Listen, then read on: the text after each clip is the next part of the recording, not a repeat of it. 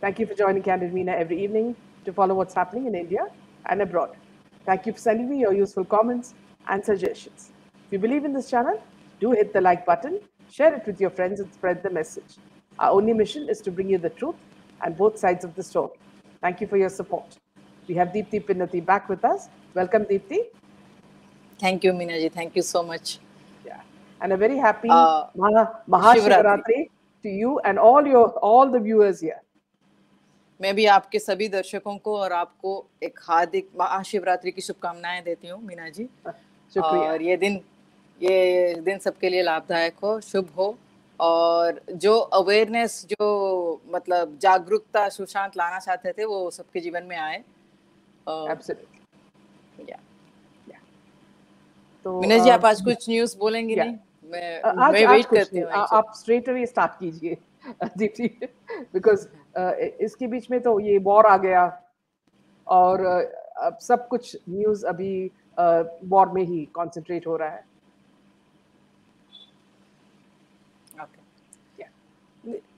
तो कितना तक छुपा तो- सकते हैं हाँ आ, निकलेंगी बाहर निकलेंगी।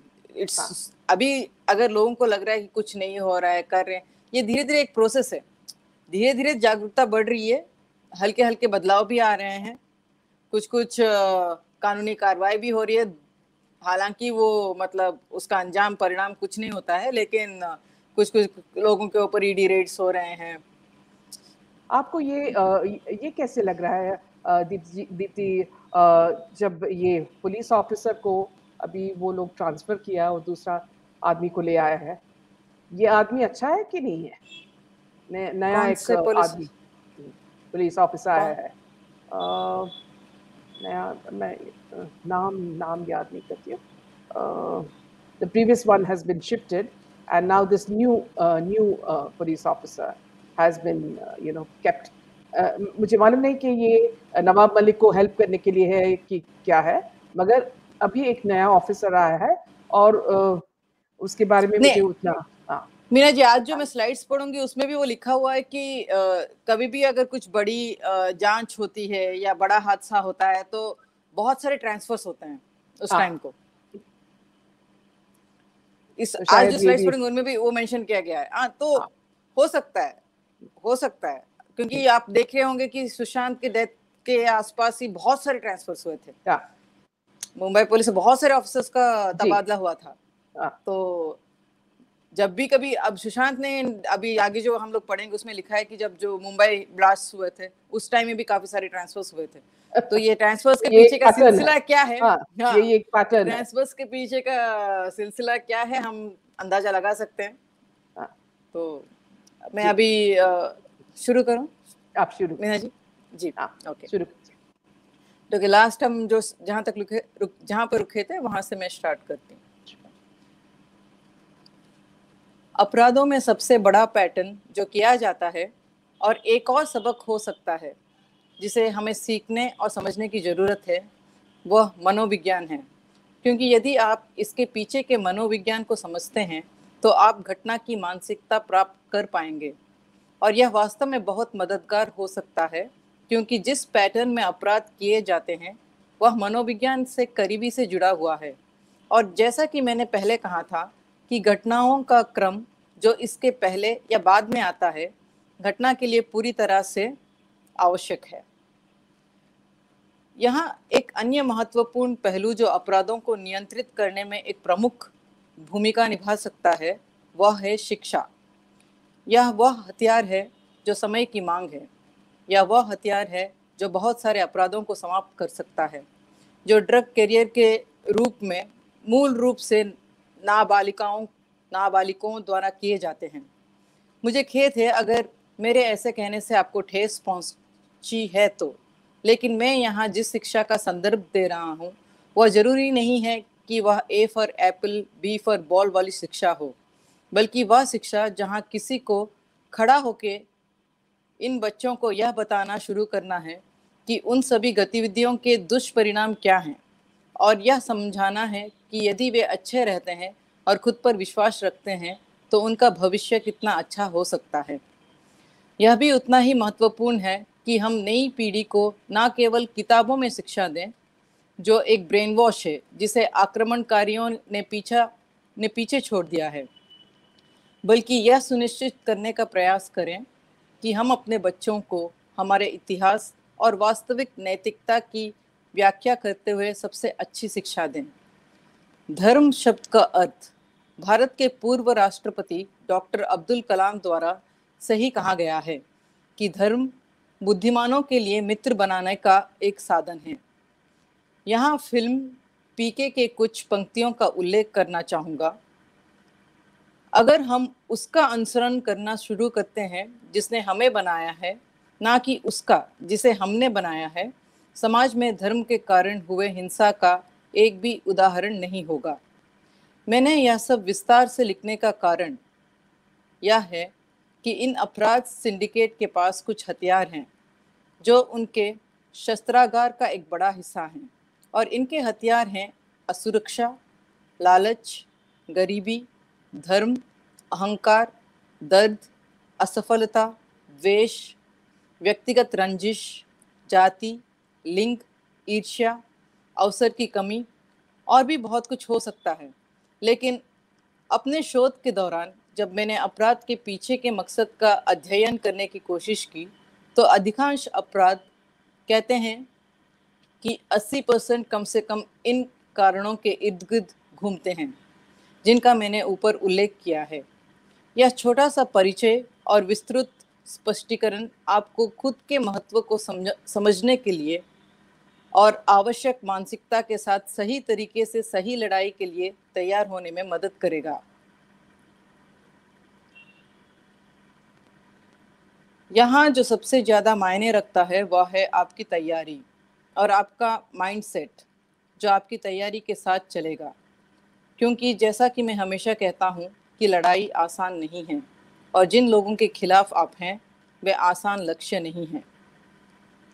नशीली दवाओं की दुनिया में होने वाले अपराधों को गरीबों और ज़रूरतमंदों के साथ, इसके संबंधों के साथ संक्षेप में प्रस्तुत किया जा सकता है। जब मैंने इस मामले के इर्द गिर्द अपनी स्टडी की तो बात कुछ इस तरह निकली।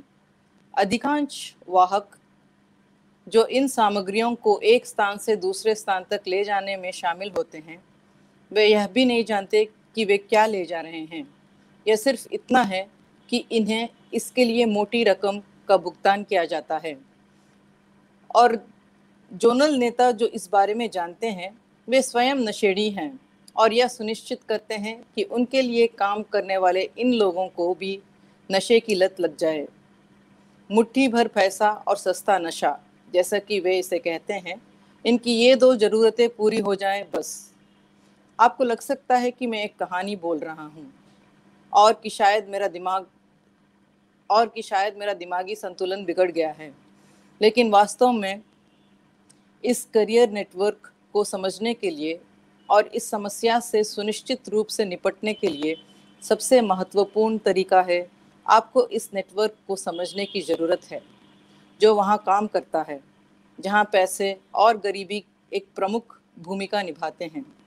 और ज़्यादातर इन यह इन बच्चों की मदद से किया जाता है। जिनके लिए चरस और गांजा अब उनकी रोज़ाना कॉफ़ी और चाय की तरह है। यहाँ देखिए, आपको जो बात समझने की ज़रूरत है, वो ये है कि इन लोगों के काम करने का तरीका क्या होता है। वे उन बच्चों को चुनते हैं जो गरीबी रेखा से नीचे हैं और फिर उन्हें इस काम के लिए प्रशिक्षित करते हैं और उनके पक्ष में काम करने वाला सबसे बड़ा हथियार हमारी व्यवस्था है। मेरे तरीके से जब मैंने इन बच्चों के मनोविज्ञान को पढ़ने की कोशिश की तो उनका रवैया कुछ यूँ निकला। भाई तो सबका बाप है। पुलिस साला रिश्वतखोर सड़क छाप है। जिसका अर्थ है, गैंगस्टर पुलिस से ज़्यादा शक्तिशाली है। यही वह मानसिकता है जो इन बच्चों को सिखाई जाती है और समाज और हमारे द्वारा इन बच्चों में ये मानसिकता आसानी से भर दी जाती है। क्योंकि जिस तरह से हम खुद को चरित क्योंकि जिस तरह से हम खुद को चित्रित करते हैं, वह इन युवा दिमागों पर एक प्रमुख भूमिका निभा रहा है। इसमें कोई शक नहीं कि इतने सारे ईमानदार अधिकारी हैं, लेकिन दस में से एक या सौ में से एक की मात्रा में। मैंने खुद इसका सामना किया है, यह देखने के लिए कि आम जनता को यह कैसा दिखता है, जहाँ अधिकारी अपना कर्तव्य करने के बावजूद पैसे के आगे सिर झुकाते हैं। इसे लिखकर यदि आपको लगता है कि मैं आपको उलझा रहा हूँ तो मुझे यहाँ केवल एक ही अनुरोध करना है कि यदि आप सोचते हैं और कोशिश करते हैं और खुद को वास्तविकता से जोड़ते हैं तो आपको लगेगा कि मैं जो बोल रहा हूँ, वह पूरी तरह से जायज़ है और इस बात से कोई इनकार नहीं कर सकता। इसे रोकना ही होगा, लेकिन सबसे बड़ा सवाल है कि कैसे? सिस्टम में भ्रष्टाचार सिस्टम में भ्रष्टाचार और जनता के मन में डर, इस गुंडा मानसिकता को बढ़ावा दे रहा है। और देखो, कौन इसका शिकार हो रहा है? मासूम बच्चे और समाज के वे, वो कमज़ोर वर्ग, जिन्हें लगता है कि यह गलत लोग हीरो हैं। और हाँ आज समाज में यही हर जगह है। सत्ता के हायरार्की को भी देखें। कुछ जनप्रतिनिधियों का भी बहुत गंदा अतीत है। फिर भी वे आपके सिस्टम में नगर सेवक, विधायक, सांसद और मंत्री के रूप में हैं। इसे रोकने का एकमात्र तरीका यह है कि हमें इन बच्चों को सही शिक्षा देने की ज़रूरत है, जो स्कूल जाने के लिए कम भाग्यशाली हैं या पारिवारिक तौर पर भी थोड़े कमज़ोर हैं, जहाँ उनके परिवार में भी उनके लिए समय नहीं है या परिवार के लोग उनकी परेशानी समझने को भी तैयार नहीं हैं। ऐसा क्यों होता है? हम यहाँ किसी को दोष नहीं दे सकते। इसके लिए सिर्फ़ समाज के लोग ही दोषी हैं। यह काफ़ी शर्म की बात है कि हम इसके लिए जिम्मेदार हैं। बहुत दर्द होता है जब वे बच्चे जो अभी अभी टीनेज से बाहर निकले हैं, उन्हें ड्रग्स लेते और कैरी करते हुए देख रहे हैं। और इसका मुंबई और बहुत सारे आसपास के अन्य जगहों के स्लम्स से सीधा संबंध है। अब यह ड्रग इंडस्ट्री सीधे तौर पर मानव तस्करी से जुड़ा हुआ है। इससे भी महत्वपूर्ण बात यह है कि जिस पैटर्न में वे काम करते हैं, इस पूरे सिलसिले के बारे में मैं अपने विचार और पूरी कहानी कुछ इस प्रकार रखूँगा। जो व्यक्ति वास्तव में अक्सर पैकेट ले जाता है, उसे पता भी नहीं होता कि वह क्या ले जा रहा है। और अब ट्रेंड यह है कि ये लोग 18 से 25 साल की उम्र की लड़कियों की तलाश करते हैं और उन्हें यूँ प्रस्तुत करते हैं जैसे घर से किसी ना किसी कारण भागी हुई हैं। और इन लड़कियों का, और इन लड़कियों को या तो स्विच ऑफ़ मोबाइल फ़ोन के साथ देखा जाता है या उनके पास एक मोबाइल फ़ोन हो ही ना। अब इसके आगे जो आएगा, वह बहुत ही खतरनाक है। इन लड़कियों को कैब या बाइक बाइक टैक्सी बुक करने के लिए कहा जाता है। और फिर कैब या बाइक टैक्सी ड्राइवर को उनकी मन गढ़त कहानी सुनाने के लिए कहा जाता है। और कहा जाता है कि उन्हें उनकी लोकल कांटेक्ट को एक फ़ोन कॉल करने की ज़रूरत है, जिसने मदद करने का वादा किया था। और उनके द्वारा उपयोग किए जाने वाले कोड वर्ड्स और यह कॉल इतनी स्क्रिप्टेड है कि देखने वाले को लगेगा कि यह वास्तव में सच है। मैंने खुद इसका अनुभव किया है और मैं इसे यहाँ लिखूँगा। ताकि आप इस तरह की घटना का मुकाबला करते समय काफ़ी सावधानी बरतें। यहाँ मेरी सामाजिक ज़िम्मेदारी के रूप में मैं यह भी बताना चाहूँगा कि क्योंकि यह डरावना लग सकता है और आपको लग सकता है कि हर लड़की एक जैसी है, कृपया इसे इस इस अर्थ में ना लें। कभी कभी किसी सच्चे व्यक्ति को मदद की ज़रूरत हो सकती है। हाँ लेकिन निश्चित रूप से उस समय को नोट कर लीजिए जब आप उस व्यक्ति से मिले थे। क्या कॉल हुआ था और कॉल रिकॉर्ड भी कर लें। टाइम स्टैम्प रखें और कॉल रिकॉर्ड करें। मेरे साथ जो घटना घटी, वह मेरे फार्म हाउस के पास हुई, जब मैं अपने बगीचे में टहल रहा था। मुझे लगा कि मैं जल्दी से एक आधा किलोमीटर जॉग पर जाऊँ। जब मैं सड़क पर दौड़ रहा था जहाँ मैं पानी खरीदने के लिए रुका था मेरे बगल में एक कैब ड्राइवर खड़ा था।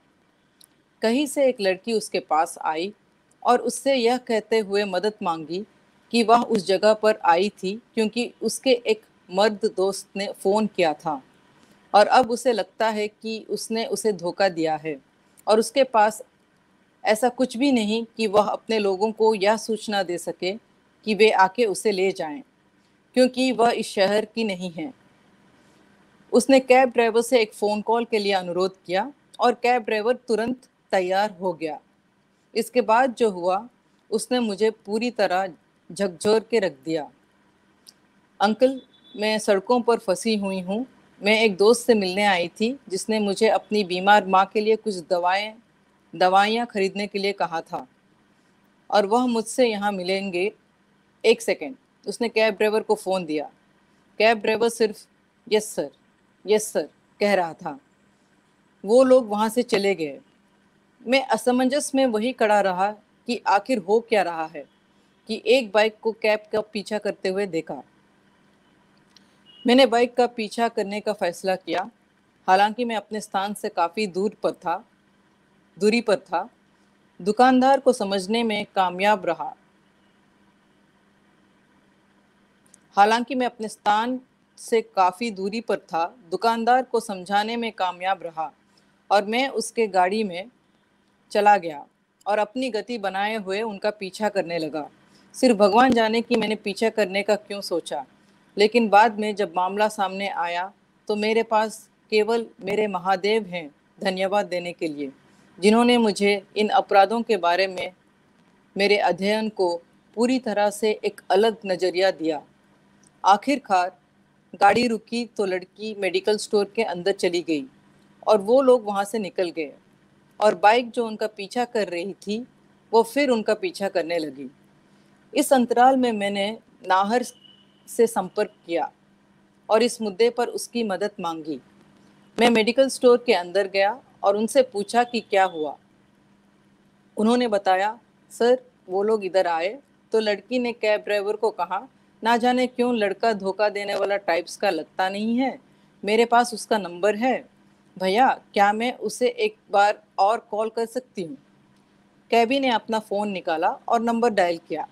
इसके बाद लड़की ने कैब ड्राइवर से कहा कि वो लड़का वही इंतज़ार कर रहा है जहाँ पर आपने मुझे पिकअप किया था। मुझे कुछ गड़बड़ लगा और मैंने पुलिस को इस पिकअप के स्थान पर बुलाया। मैं मेडिकल स्टोर के अंदर गया और मालिक से पूछा कि क्या हुआ?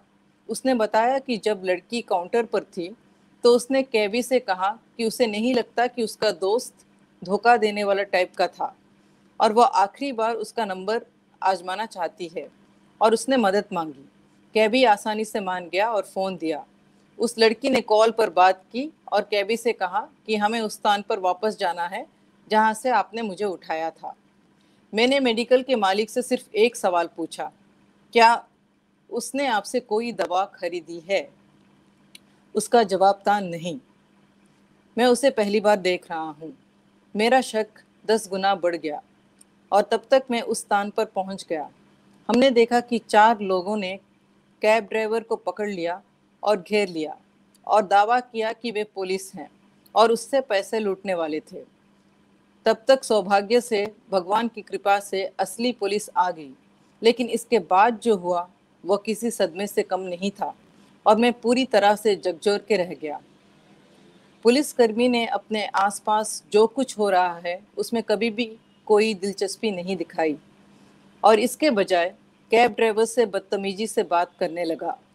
जब नाहर ने पुलिसकर्मी से पूछताछ करने की कोशिश की तो पुलिस ने मुखार मुखर के कहा कि मुँह पे झूठ बोल रहा है साहब। ये चिंदी चोर ऐसे ही हैं। इस वादात ने मुझे उस दिन हिलाकर रख दिया और मुझे नहीं पता था कि किससे बात करनी है और किससे नहीं। मैंने सोचा कि इस बार मैं उच्च स्तर के अधिकारियों को सूचित करना ठीक रहेगा।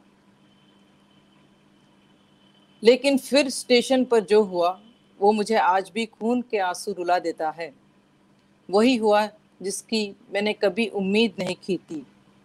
और इससे मुझे एक बात का एहसास हुआ कि यहाँ हर कोई बस अपने लिए है और सिर्फ़ आप ही आपके लिए हो। वहाँ का अवसर कुछ इस तरह निकला, अरे सुशांत बाबू, आप इतने बड़े स्टार हैं। आप इन सभी मामल, मामलों और अन्य बकवास में क्यों पढ़ना चाहते हैं? जिससे आपका कुछ संबंध नहीं है। आप कृपया अपने करियर पर ध्यान दें। आप कृपया अपने करियर पर ध्यान दें। चलो मान लिया कि आपने इसे देखा और मैंने आपका केस दर्ज भी, दर्ज कर भी लिया। लेकिन तब इसका असर आप पर ही पड़ेगा।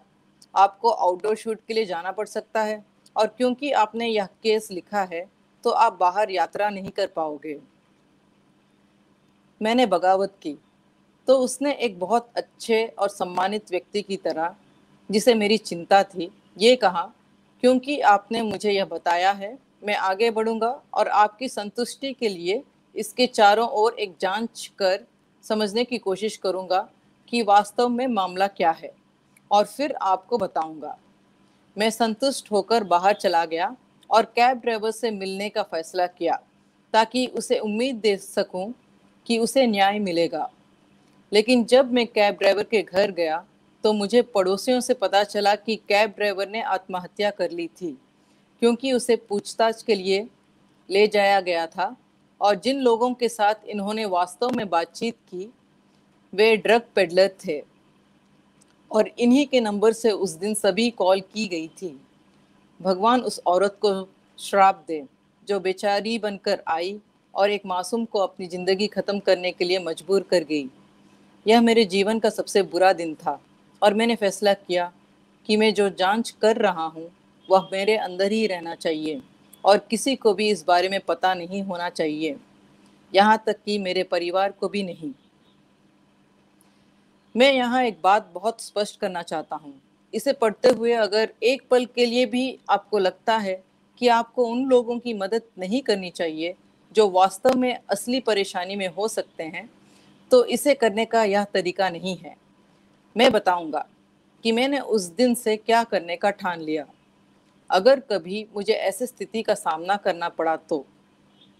अगर मैं इस स्थिति में होता तो मैं निश्चित रूप से उस व्यक्ति की मदद करता, जिसे ज़रूरत है। रिकॉर्ड बटन दबा दबा के मैं उसे, जिसे चाहे उसे कॉल करने के लिए अपना फ़ोन देता। और कॉल ख़त्म होते ही मैं वो रिकॉर्डिंग मेरे पाँच दोस्तों के साथ शेयर करता और कॉल किए जाने के समय भी ध्यान में रखता। हेल्प की हेल्प हो जाएगी, सेफ्टी की सेफ्टी। मैंने ज़रूरतमंद की मदद की है और अपनी सुरक्षा का भी ध्यान रखा है। यह कार्यवाही का एक, यह कार्रवाई का एक तरीका है और जब से हमें इसके बारे में पता चला, तब से हम संबंधित घटनाओं के लिए बहुत सतर्क थे।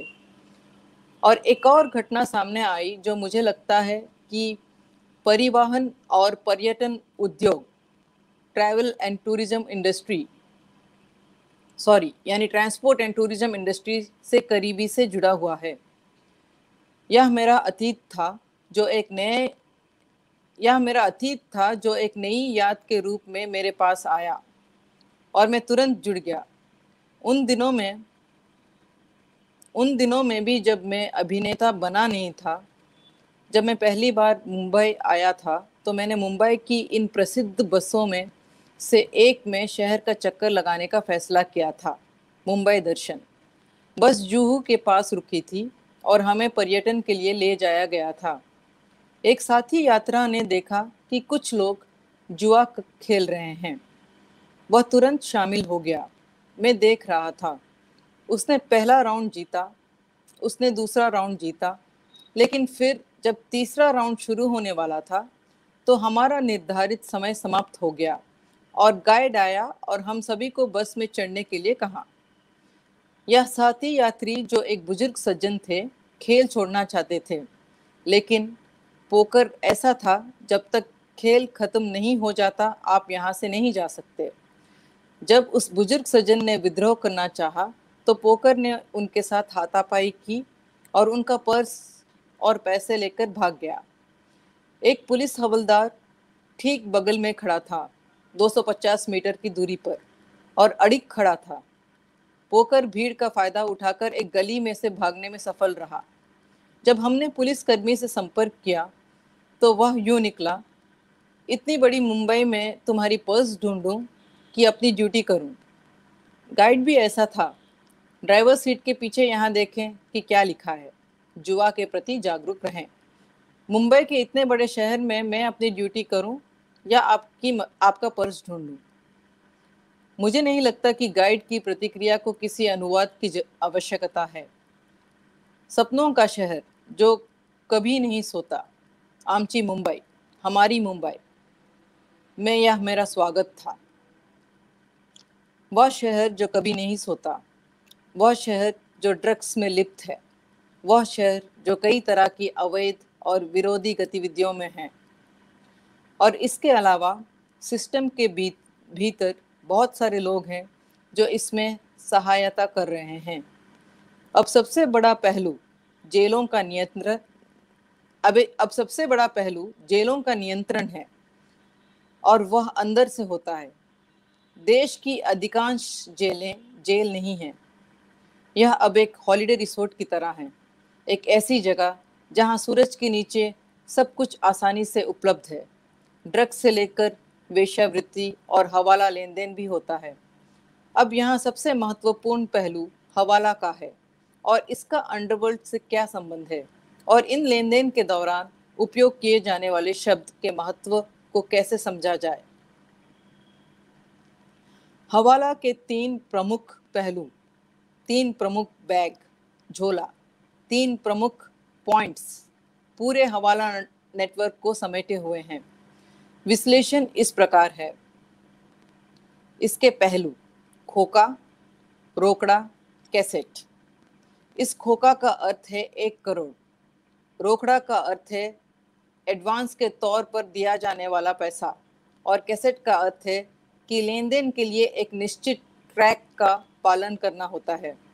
सबसे महत्वपूर्ण हवाला लेन देन कैसेट लेन देन है, जिसका अर्थ है कि यह पैसा राजनीतिक एजेंडा के लिए है। खोखा लेन देन शेल कंपनियों के लिए होता है और रोकड़ा लेन देन वे, वो होता है जहाँ रकम कम होती है, लेकिन प्रभाव बहुत बड़ा होता है।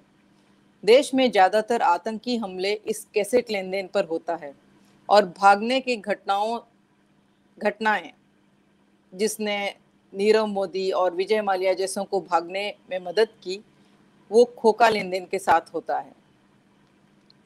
तीन प्रमुख बैग। हरा थैला। बैग। ये ना सोचे, यह बैग का रंग है। हरा झोला, जिसका अंग्रेज़ी में अर्थ है हरा बैग। हरा झोला एक हरी झंडी का संकेत है, जहाँ रिसीवर और सेंडर, दोनों को पता है कि पैसे का उपयोग किस लिए किया जाएगा। और वर्तमान पॉइंट को क्या कदम उठानी चाहिए? डिस्ट्रीब्यूटर और डिलीवरी वालों को यहाँ पॉइंट कहा जाता है। पैसा जब निकलता है तो सेंडर का काम होता है कि वह कॉलिंग पैटर्न की गिनती दें, जो है कि एक लंबी मिस्ड कॉल का मतलब समय पर है। दो लंबी मिस्ड कॉल का मतलब कुछ समस्या, दो घंटिया। यदि इसके बाद एक खाली एसएमएस आता है तो इसका मतलब है कि मामला बहुत बड़ा है और इसे तत्काल संबोधित करने की आवश्यकता है। यदि एक ब्लैंक मैसेज है तो इसका मतलब है कि जिस व्यक्ति से मिलना था, वह जगह पर नहीं है, जिसे रिसीवर को शॉर्ट रिंग, पाँच ताली में मिस्ड कॉल देकर पुष्टि करनी होगी। यदि स्थिति वास्तव में नियंत्रण से बाहर हो जाती है तो इन लोगों के बचने का रास्ता है कचरा। कचरा एक ऐसा टर्म है जिसका इस्तेमाल वहाँ किया जाता है, जहाँ यह लोग आमतौर पर अगले निकटम, निकटतम अत्याधिक प्रभावशाली व्यक्ति से संपर्क करके मदद मांगते हैं। कचरा लेन देन कमीशन कुल राशि का ढाई प्रतिशत होता है। इसका विस्तृत विवरण में मूवी पीके के सेट पर इकट्ठा कर पाया, जब किरण राव इन लेन देन में शामिल थी और हवाला बिरादरी के लोग नियमित रूप से सेट पर आते थे। यहाँ तक कि अनुष्का भी समझ नहीं पा रही थी कि वास्तव में उनके आसपास क्या हो रहा था। लेकिन मेरे लिए एक और झटका जो सामने आया, वह यह है कि अनुष्का शर्मा कैस्टिंग कोच कहानियों की रानी है। अब जब उसने विराट से खुशी खुशी शादी कर ली है तो कभी भी इसे पढ़ रहा है। तो जो कभी भी इसे पढ़ रहा है, मैं आपसे विनम्रता पूर्वक अनुरोध करना, करता हूँ कि आप इस जानकारी का उपयोग केवल अध्ययन के लिए के लिए करें और किसी भी रूप में इसका कहीं भी चर्चा ना करें। यदि आवश्यक हो या आपको अपने लिए इसकी आवश्यकता है तो ही कार्रवाई करें। मुझे कोई आपत्ति नहीं है, लेकिन यह मामला सबसे ज़्यादा शर्म की बात है और इसे लिखने का एकमात्र कारण यह है कि इसका कैस्टिंग काउच के काम करने के तरीके से बहुत महत्वपूर्ण संबंध है। और यह भी कि कैसे टैलेंट मैनेजमेंट फर्म जो बॉलीवुड का एक हिस्सा हैं, इन सफ़ेद पोष कर्मचारी अपराधियों को जुर्म से अपना हाथ धोने और राजनीति पर संपूर्ण नियंत्रण रखने में एक प्रमुख भूमिका निभाते हैं। और यह भी कि कैसे कैस्टिंग काउच और कुछ अन्य संकेतकों के ने भ्रष्टाचार के साथ इस देश के सबसे बड़े अभिशाप हनी ट्रैपिंग में एक प्रमुख भूमिका निभाई है। इस हनी ट्रैपिंग के बारे में चर्चा करने का एकमात्र कारण है कि यह हनी ट्रैपिंग है, जिसके चलते ये बॉलीवुड के लोग किए गए अधिकांश अपराधों से अपना हाथ धोते हैं। मेरी जीप की गरिमा को बनाए रखते हुए मेरा संदेश पहुँचाने के लिए कहूँगा, जैसे कि पिगी बैंक नीरव मोदी की फिक्स डिपॉजिट बन गई। संकेत, यहाँ उपनामों पर काम करें। और छोटी भट्ट, परवीन भाभी के लिए तिजोरी वाला मिनिस्टर के लिए लैला बन गई। मेरे मन में एक सवाल था कि क्या इन लोगों के पास जमीर है या नहीं?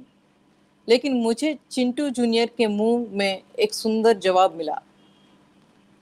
जब उन्होंने कहा कि उन्होंने चौदह साल की उम्र में अपना वी खो दिया यह यहाँ कोड में उल्लेख किया गया है क्योंकि केवल एक बहुत ही तार्किक और स्मार्ट दिमाग ही इसका अर्थ समझ सकता है। और यदि यह एक शैतान के हाथ में है, यहाँ मेरा दूसरा चेक पॉइंट है, जहाँ से आगे के आपके कर्म आपको एक और परीक्षा में पास करेंगी। अगर इसे पढ़ने वाले की नीयत सही है तो जब तक आप इस मुकाम पर पहुँचेंगे, तब तक मुझे ठीक ठीक अंदाज़ा है कि आपने कितना समय लिया होगा। और अगर आप एक अत्याधिक प्रतिभाशाली व्यक्ति हैं तो आप मेरे अनुमान से तीन दिन पहले यहाँ पहुँच गए होंगे। जिस तरह से इस स्लाइड को हैंडल किया जाएगा, वह परीक्षा है। और मैं आपको यह नहीं बताऊँगा कि मैं क्या उम्मीद कर रहा हूँ। यह एक परीक्षा है, इसलिए मैंने इसे इस कोडित भाषा में लिखा है। अगर कोई सच्चा इंसान इसे पढ़ रहा है और नाराज़ हो रहा है तो मुझे खेद है। लेकिन कृपया समझें कि यह समाज के लिए है और यह एक ऐसी चीज़ है जिससे बहुत सारे अपराधों के साथ न्याय होगा और आम आदमी को भी समझ में आ जाएगा कि जो कुछ भी आज देश में स्थिति है, सच अनोखा है और सत्य की जीत अवश्य होगी। यदि कोई फरिश्ता इसे पढ़ रहा है तो वह व्यक्ति मेरे दिमाग के दशा को समझेगा। और यदि कोई शैतान इसे पढ़ रहा है तो मैं इसे भगवान पर छोड़ देता हूँ। जो भी हो, जैसे भी हो, मैं दोहराता हूँ। मेरा टीम मेरे साथ या मेरे बिना देख रहा है। लाल थैला रेड बैग लाल झोला, इस लेन देन के लिए इस्तेमाल किया जाने वाला शब्द है। उस लेन देन के लिए इस्तेमाल किए जाने वाला शब्द है, जो अत्यधिक ज़रूरी है और जिससे काफ़ी जोखिम रहता है। इस लाल झोला ट्रांसफ़र का उपयोग शेल कंपनियों में किया जाता है और इसका उपयोग वहाँ किया जाता है, जहाँ एक स्थान से दूसरे स्थान पर भेजी जाने वाली राशि का तुरंत उपयोग नहीं होता।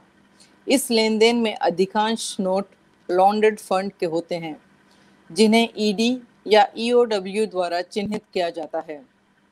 यह लेन देन मूल रूप से काले धन को सफ़ेद में बदलने के लिए किया जाता है और इस प्रकार के लेन देन के मुख्य ग्राहक निजी साहूकार हैं। समझे नहीं, मैं समझाता हूँ कि निजी साहूकारों को दो प्रतिशत प्रति करोड़ ब्याज पर रेड बैग दिया जाता है। ये निजी साहूकार बदले में मध्यम वर्ग, निम्न मध्यम वर्ग और श्रमिक वर्ग के लोगों को छोटी मात्रा में पैसे देते हैं। यदि राशि एक करोड़ रुपये से कम हो तो ईडी या ईओडब्ल्यू आमतौर पर तस्वीर में नहीं आती। और ये तब तक सीन में नहीं आते जब तक उन्हें इत्तला नहीं किया जाता। आप सोच रहे होंगे कि मैं यह मानने जितना मूर्ख हूँ कि आईटी और ईडी इन लोगों के जेब में नहीं है। लेकिन एक बहुत बड़े हवाला दलाल के शब्दों के अनुसार, अब चीज़ें उनके अनुकूल हैं, लेकिन वे अभी भी अपनी पुरानी तकनीकों का प्रयोग करते हैं। कुछ अधिकारियों से होशियार रहने के लिए जो अलग हैं, कुछ सच्चाई के कीड़े वाले भी सिस्टम में हैं इसीलिए। और इसका मुख्य कारण यह है कि कुछ सफ़ेद धन करों में भी दिखाया जाता है और इन चिन्हित नोटों को भी निपटाना है। इस तरह सिस्टम काम करता है। तीन बातों के आधार पर पाँच परसेंट से लेकर पच्चीस प्रतिशत तक के ब्याज पर पैसा दिया जाता है। क्या व्यक्ति की पहुँच है? क्या व्यक्ति शिक्षित है? और क्या वह व्यक्ति रोटेशन में अच्छा है? दिया गया पैसा ब्याज है और पेबैक मनी ताज़ा करेंसी है जो पूरी तरह से साफ़ है और किसी भी चीज़ के लिए इस्तेमाल की जा सकती है। यह पैसा आमतौर पर बिना किसी गारंटी के लोगों को दिया जाता है। लेकिन वसूली करने वाले लोग जो इस तरह के ऋण से जुड़े होते हैं, उनकी आँखों में कोई खून नहीं होता। लाल बैग को निपटने का एक और तरीका है सट्टेबाजी। सट्टेबाजी करने वाले सट्टेबाज आमतौर पर इस पैसे का उपयोग उनके द्वारा किए गए प्रत्येक लेन देन के विजेताओं को भुगतान करने के लिए करते हैं। यहाँ पेबैक सरल तरीके से काम करता है। यह पैसा छोड़े दिए गए सट्टेबाजों को नहीं दिया जाता है, बल्कि उन लोगों को दिया जाता है जो तुलना में नए होते हैं। क्योंकि संगठित और अच्छी तरह से जुड़े हुए सट्टेबाजों को एक ही सर्कल के भीतर लिंक होते हैं। और ज़्यादातर जब हारने वाले पक्ष से भुगतान किया जाता है तो उन्हें चिन्हित नोट वापस मिल जाते हैं। इस क्षेत्र में मेरा अनुभव आईपीएल 2019 के फाइनल के दौरान मिला था। मैंने चेन्नई सुपर किंग्स पर तीन लाख रुपये और मुंबई इंडियंस पर तीन लाख का दाव लगाया था। जब परिणाम सामने आया तो मैंने मुंबई विक्ट्री से पैसा इकट्ठा किया और इसे शाहजाद खान को सौंप दिया, जो अरबाज खान के साथ करीब से जुड़ा हुआ है। मैं इसमें सीधे तौर पर शामिल नहीं था, लेकिन पारस डोगरा का संपर्क था और पैसे पहुँचाने के 30 मिनट के भीतर पारस डोगरा के संपर्क को यह कहते हुए एक कॉल आता है कि ये नोट चिन्हित हैं, आपको ये कहाँ से मिले? हो गया मेरे दिमाग में दूध का दूध, पानी का पानी। मुझे साफ़ तौर पर पूरी प्रक्रिया समझ आई। पीला बैग। इस हवाला लेन देन के पूरे संदर्भ में यह सबसे महत्वपूर्ण थैली है। पीला थैला मुख्य थैला है, जिसमें बहुत सारी जानकारी है और इसके अलावा यही वह थैला है जो देश में आतंकवाद और देश में होने वाली ज़्यादातर भारत विरोधी आंदोलन के पीछे का कारण है। बात इतनी सरल है पीले बैग का ना कोई बाप है, ना कोई माँ। लेन देन सिर्फ़ एक फ़ोन कॉल पर होता है। जो एक चीज़ यहाँ काम करती है, वह यह है कि इस पैसे का कोई रिकॉर्ड नहीं होता। यह लेन देन उच्चतम स्तर पर होता है। यह वह चाल है जो इतिहास के दिनों से खेली जा रही है और जो कई बार दर्ज की गई है, जब पैसे का कोई लिंक नहीं था, जब पैसा कभी वापस नहीं मिला। शेल कंपनियों के पीछे यह मुख्य फंडिंग स्रोत है।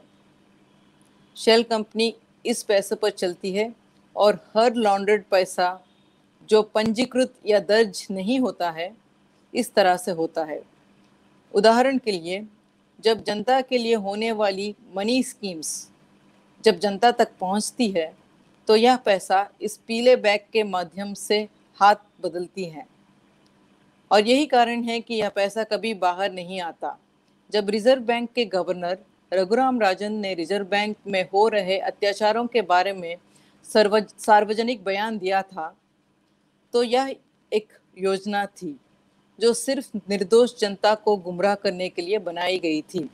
जब चिदम्बरम जी को गिरफ़्तार किया गया था, तब इसमें मुकेश भट्ट जी एक डायरेक्ट कड़ी थे और मुकेश भट्ट जी ने आलिया भट्ट को अपना नाम साफ़ करने के लिए भेजा था।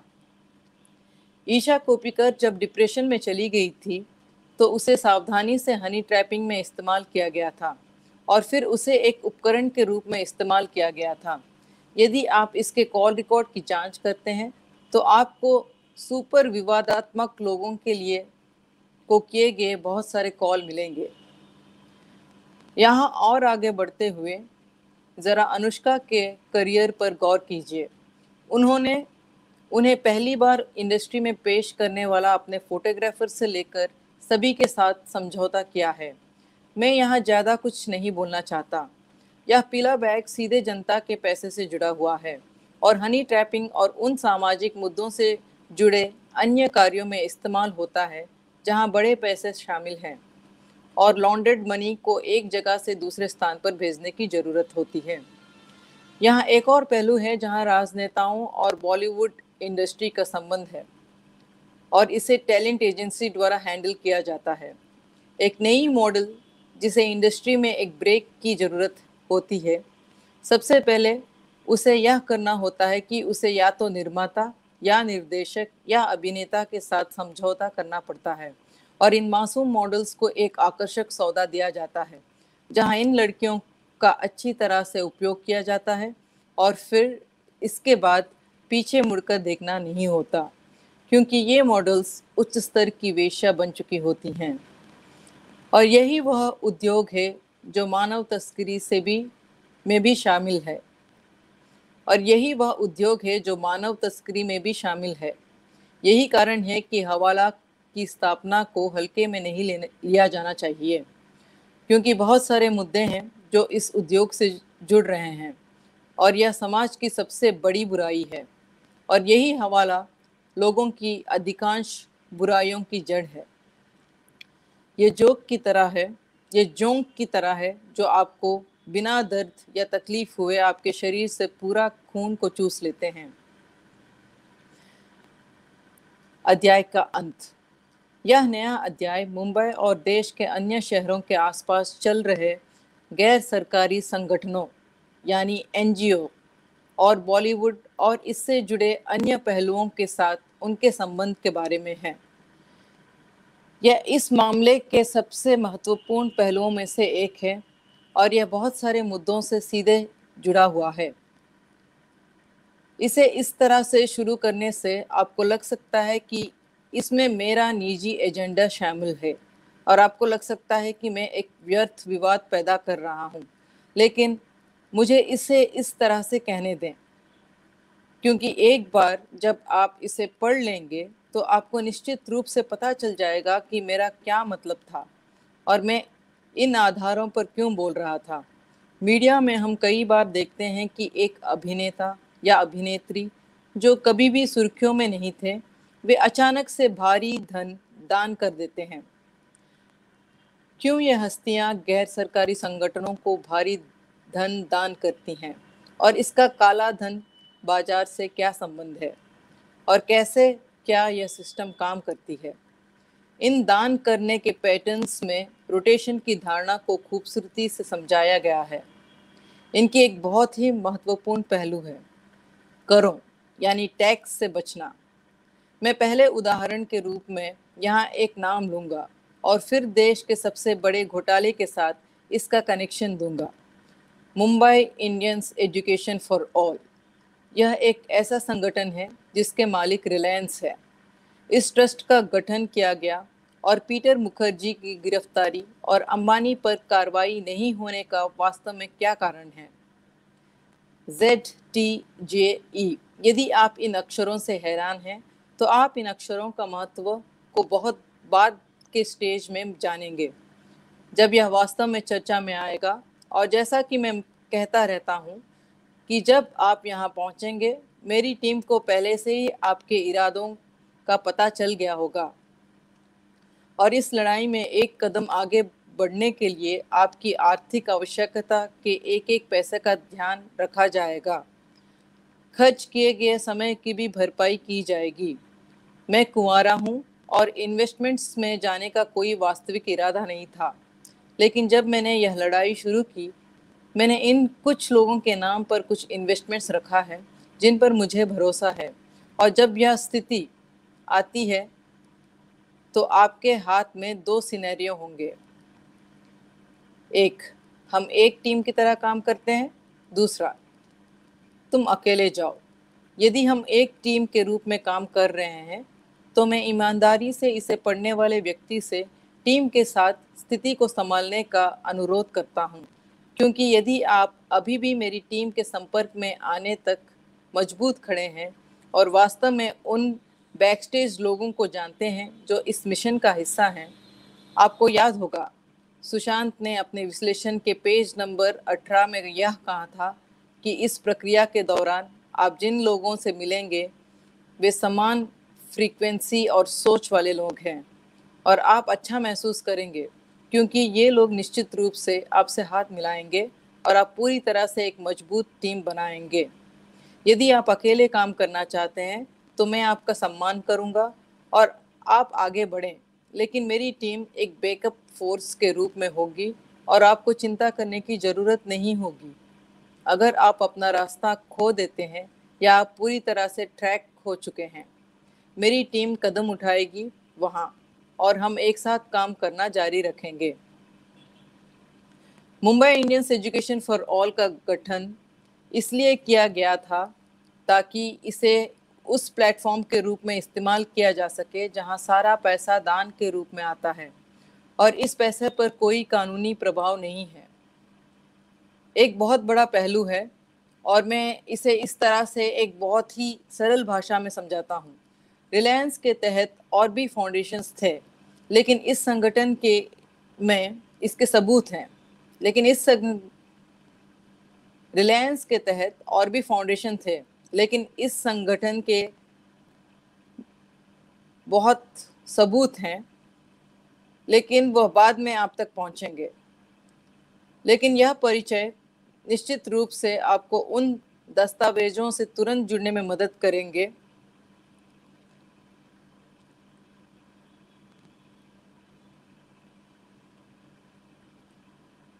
मीना जी मैं थोड़ा फिर से पढ़ती हूँ ये वाला लाइन एक बार। यस यस ओके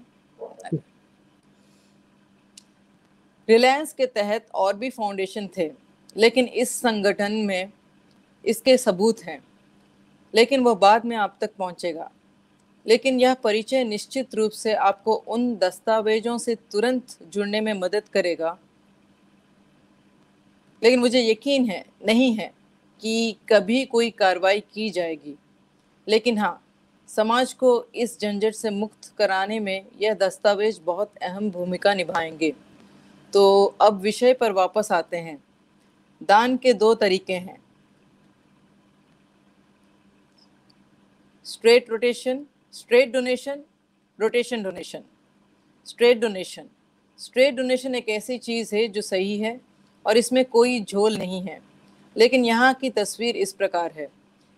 इस पैसे को फ्री मनी कहा जाता है, जिसकी कोई ब्याज दर नहीं है और जिसका किसी भी तरह के करों से कोई संबंध नहीं है, जो इस दान करने वाले व्यक्ति के लिए और Mumbai Indians foundation for all के लिए लागू किया जा सकता है। अंतिम चरणों के वार्षिक रिकॉर्ड देखें। कागज़ पर दिखाए गए भुगतान और उपयोग किए गए वास्तविक भुगतानों के बीच एक बड़ा अंतर शामिल है। समझे नहीं? मैं समझाता हूँ।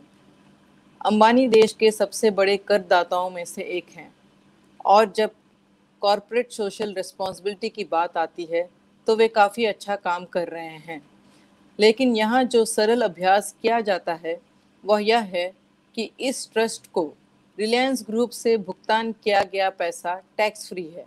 और आने वाले शून्य और व्यय की संख्या और आने वाले शून्य और व्यय की संख्या के शून्य, कई बार मेल नहीं खाते।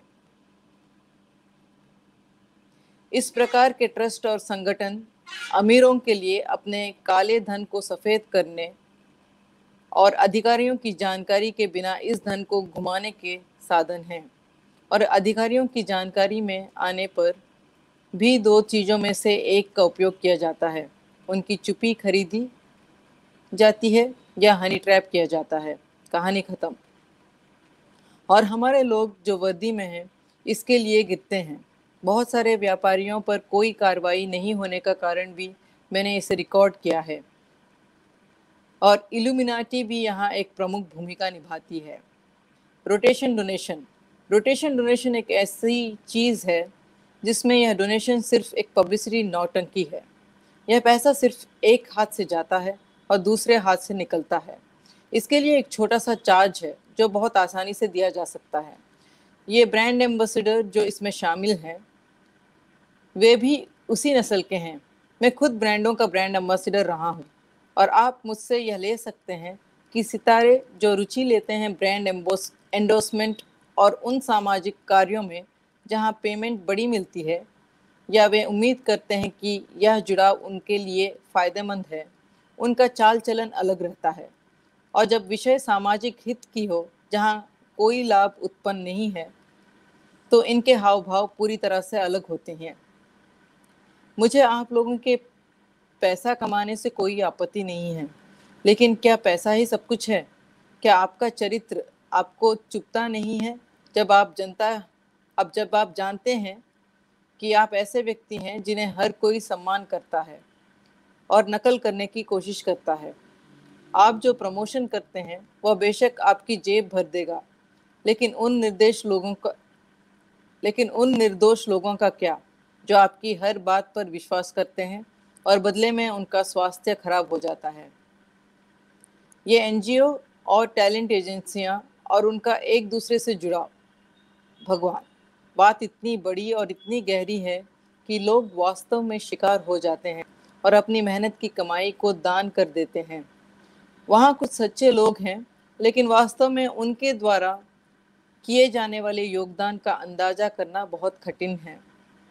वेश्यावृत्ति बाल तस्करी काला धन जबरन वसूली और मनी लॉन्ड्रिंग इस सेटअप में बहुत सारी परस्पर जुड़ी हुई चीज़ें काफ़ी आम हैं और कभी कभी यह एक गंदा मोड़ लेता है जब अंग तस्करी का एंगल सामने आता है।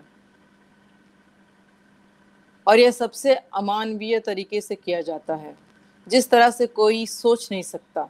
अभी के लिए मैं इसे यहाँ संक्षेप में प्रस्तुत करने जा रहा हूँ, और जैसे जैसे आप आगे बढ़ेंगे, आपको और अधिक जुड़ी हुई जानकारी मिलेगी, जो वास्तव में इस लड़ाई में आपकी मदद कर सकती है। जब कोई गरीब होता है और इलाज का खर्चा उठा नहीं सकता तो उसके पास केवल दो रास्ते होते हैं, या तो सरकारी अस्पताल या इन एन की मदद से किसी चैरिटी हॉस्पिटल में भर्ती हो जाना।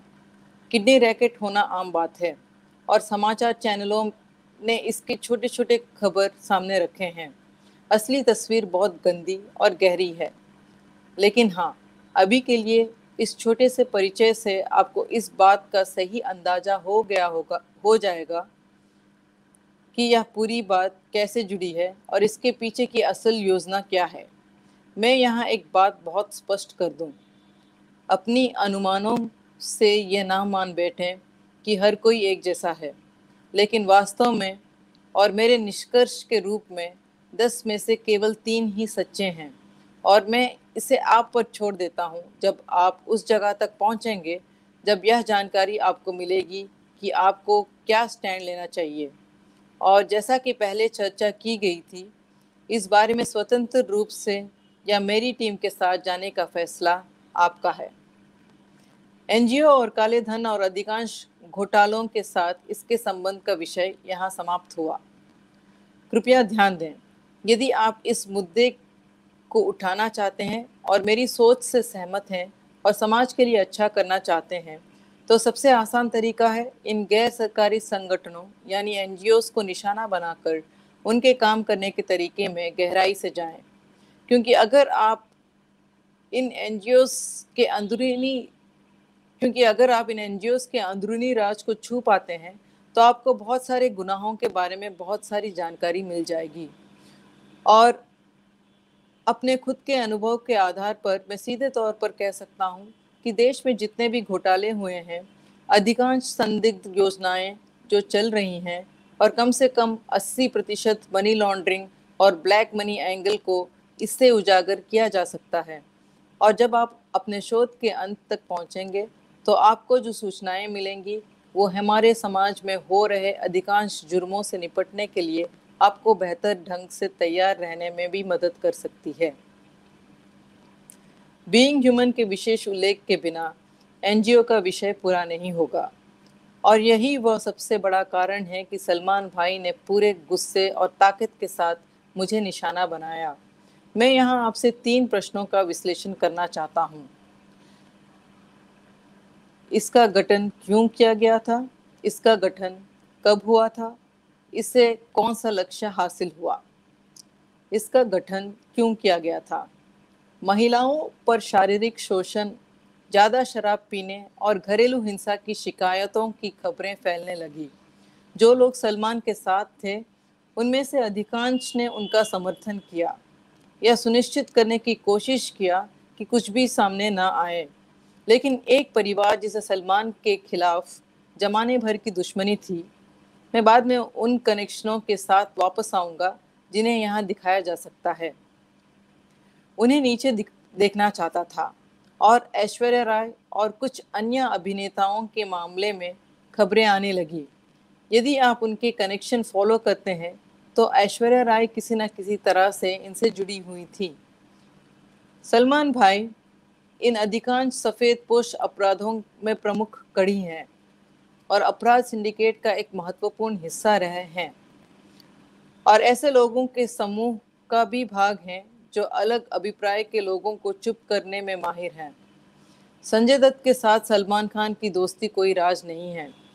अब कोशिश कीजिए और यह देखें कि दिव्या भारती की आखिरी फ़िल्म कौन सी थी, जो उनकी मृत्यु से ठीक दस दिन पहले रिलीज़ हुई थी, क्षत्रिय।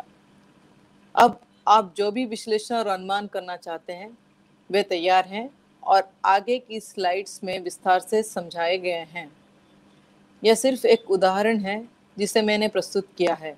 और मैं इसे यहाँ विस्तार से नहीं बताना चाहता कि क्यों वह आज इस इंडस्ट्री का सबसे इज्जतदार व्यक्ति है। उस पर काला हिरण का मामला दर्ज किया गया था क्योंकि वह राजस्थानी वंश के महाराजा की बेटी के साथ रिश्ते में था। मैंने इस बात को पहले समझाया था, लेकिन यह बीइंग ह्यूमन के गठन के लिए एक मुख्य कनेक्शन बनाता है। इसलिए मुझे लगता है कि इसका ज़िक्र यहाँ करने की ज़रूरत है। उनकी छवि इस हद तक खराब हो गई थी कि उन पर कई कानूनी, कि उन पर कई कानूनी प्रभाव पड़ रहे थे।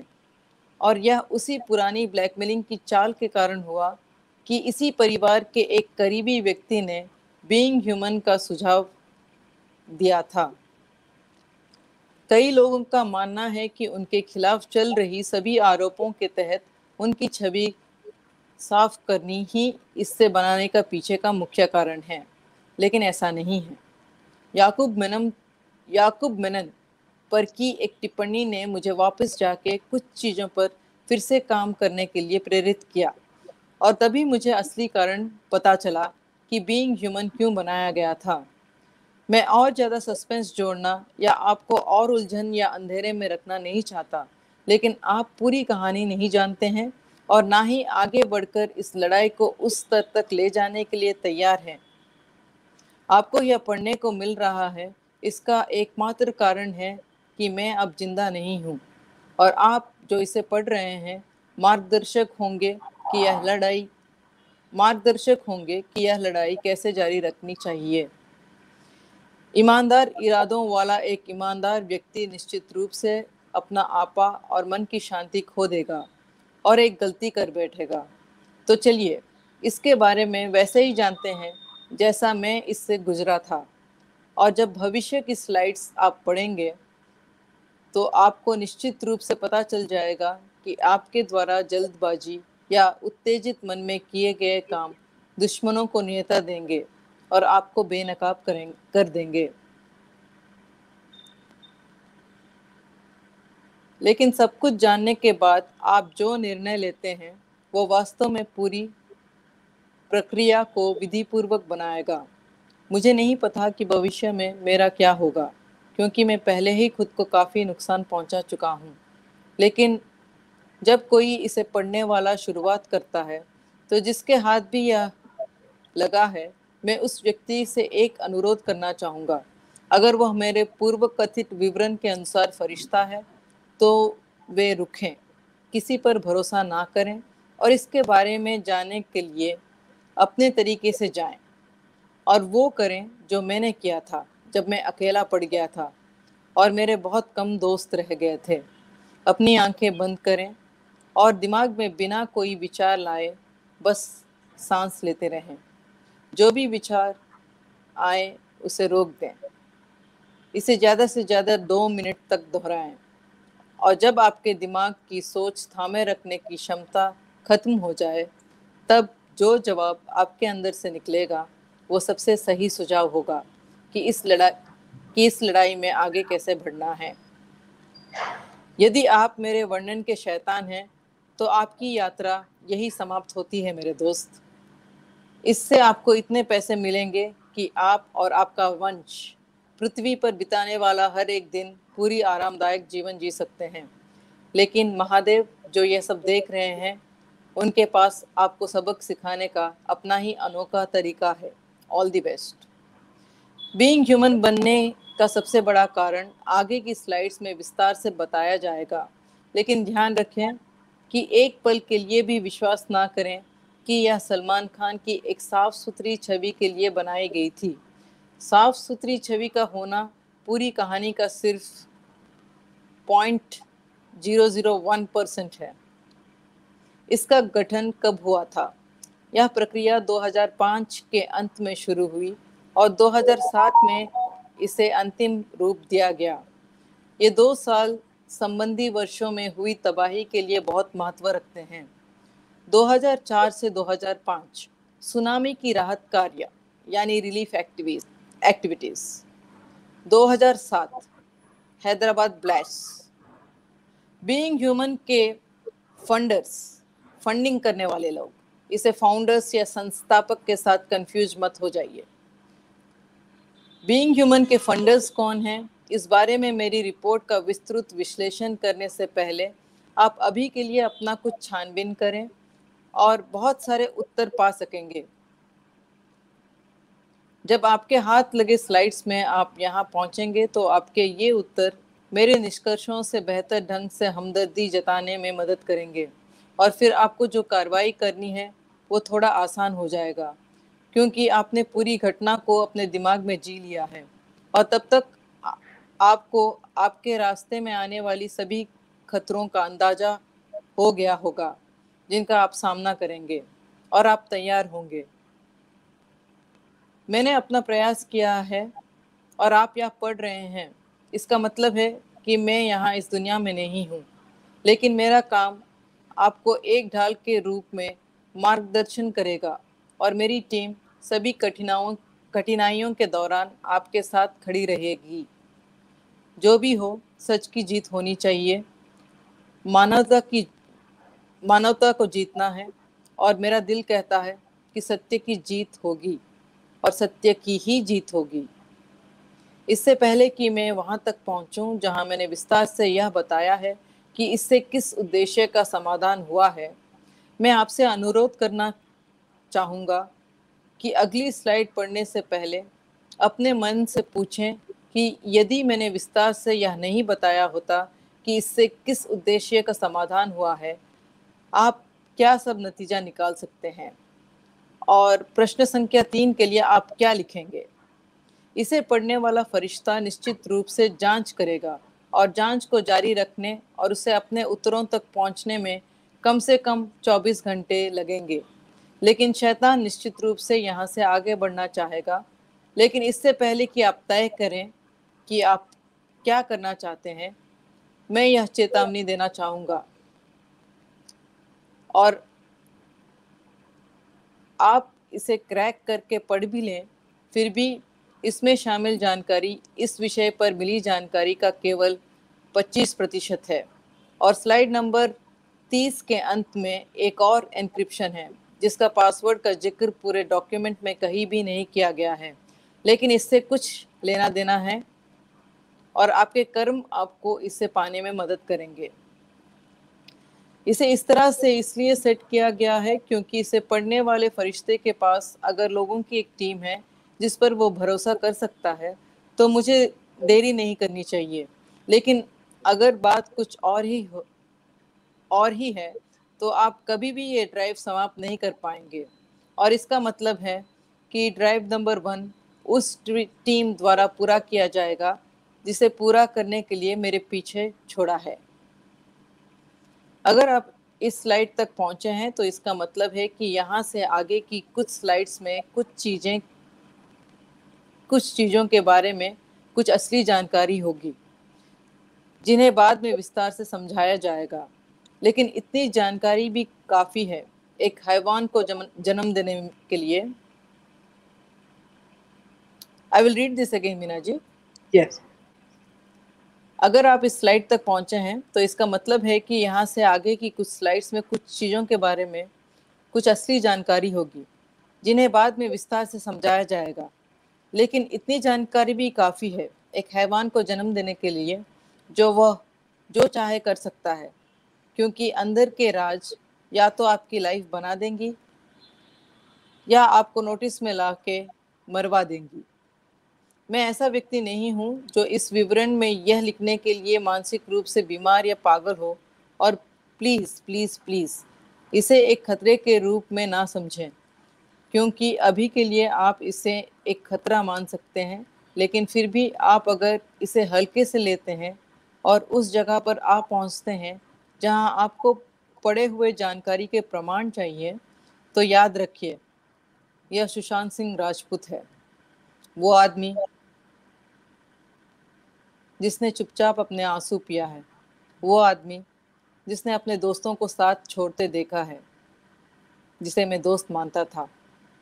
एक ऐसा आदमी जिसके पास एक बहुत छोटा सर्कल है असली दोस्तों का, जो किसी भी तरह से पब्लिक लाइफ से जुड़े नहीं हैं। और वो आदमी, जिसके पास ज्ञान और समझ है कि अपने काम की रक्षा कैसे करें, ज़रूरत पड़ी अपने जान के कीमत पर भी। इसलिए, इसीलिए यदि आप इसे एक खाली धमकी के रूप में ले रहे हैं तो सावधान रहें। यदि एक साफ़ दिल वाला व्यक्ति इसे पढ़ रहा है तो वह उस व्यक्ति के शब्दों का सम्मान करेगा, जो यहाँ नहीं है, जब वह इसे पढ़ रहा है। और दोनों में से एक करेगा। यदि व्यक्ति अकेला है, वह, मैं यहाँ सामान्य रूप से आदमी को संबोधित करूँगा, क्योंकि मैं एक पुरुष हूँ और यह मेरे लिए आसान होगा। बाकी महिलाओं के लिए मेरे पूरा सम्मान है। यदि व्यक्ति अकेला है, वह आवश्यक जाँच करेगा और अगली स्लाइड को खोलेगा। या यदि वह एक टीम है तो यह काम जल्दी होगा। लेकिन अगर गलत इरादों वाला कोई व्यक्ति एआई को तोड़ने की कोशिश करता है तो अगले वाले पर पहुँच जाता है और इस, इसमें कोई शक नहीं है कि आप पैसे कमाएँगे। लेकिन सबूत आपके हाथ में कभी नहीं आएगा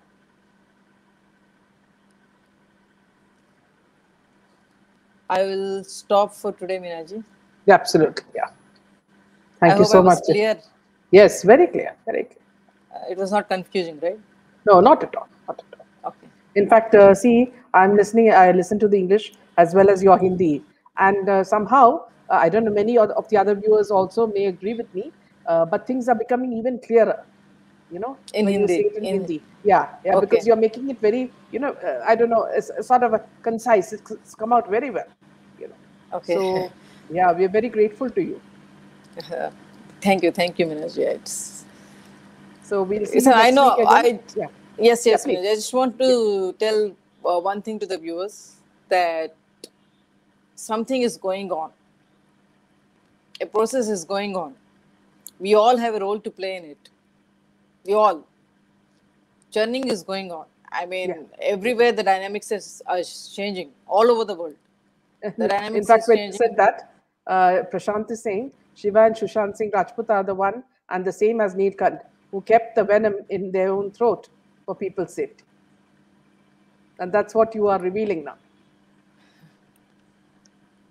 Uh, yeah i mean things are happening minaji so it's uh, decades and decades of uh, you know uh, evil and corruption यूँ ही नहीं चला जाएगा सालों से जो मतलब जमा हुआ ये भ्रष्टाचार और ये you know I was listening to an interview sometime back uh, in this uh, you know though Amir Khan we don't trust him at all in uh, Satyame Jayate uh, with the same police officer who has been brought in now okay so he apparently uh, wanted to make a compromise. That's what uh, Paramveer Singh had said.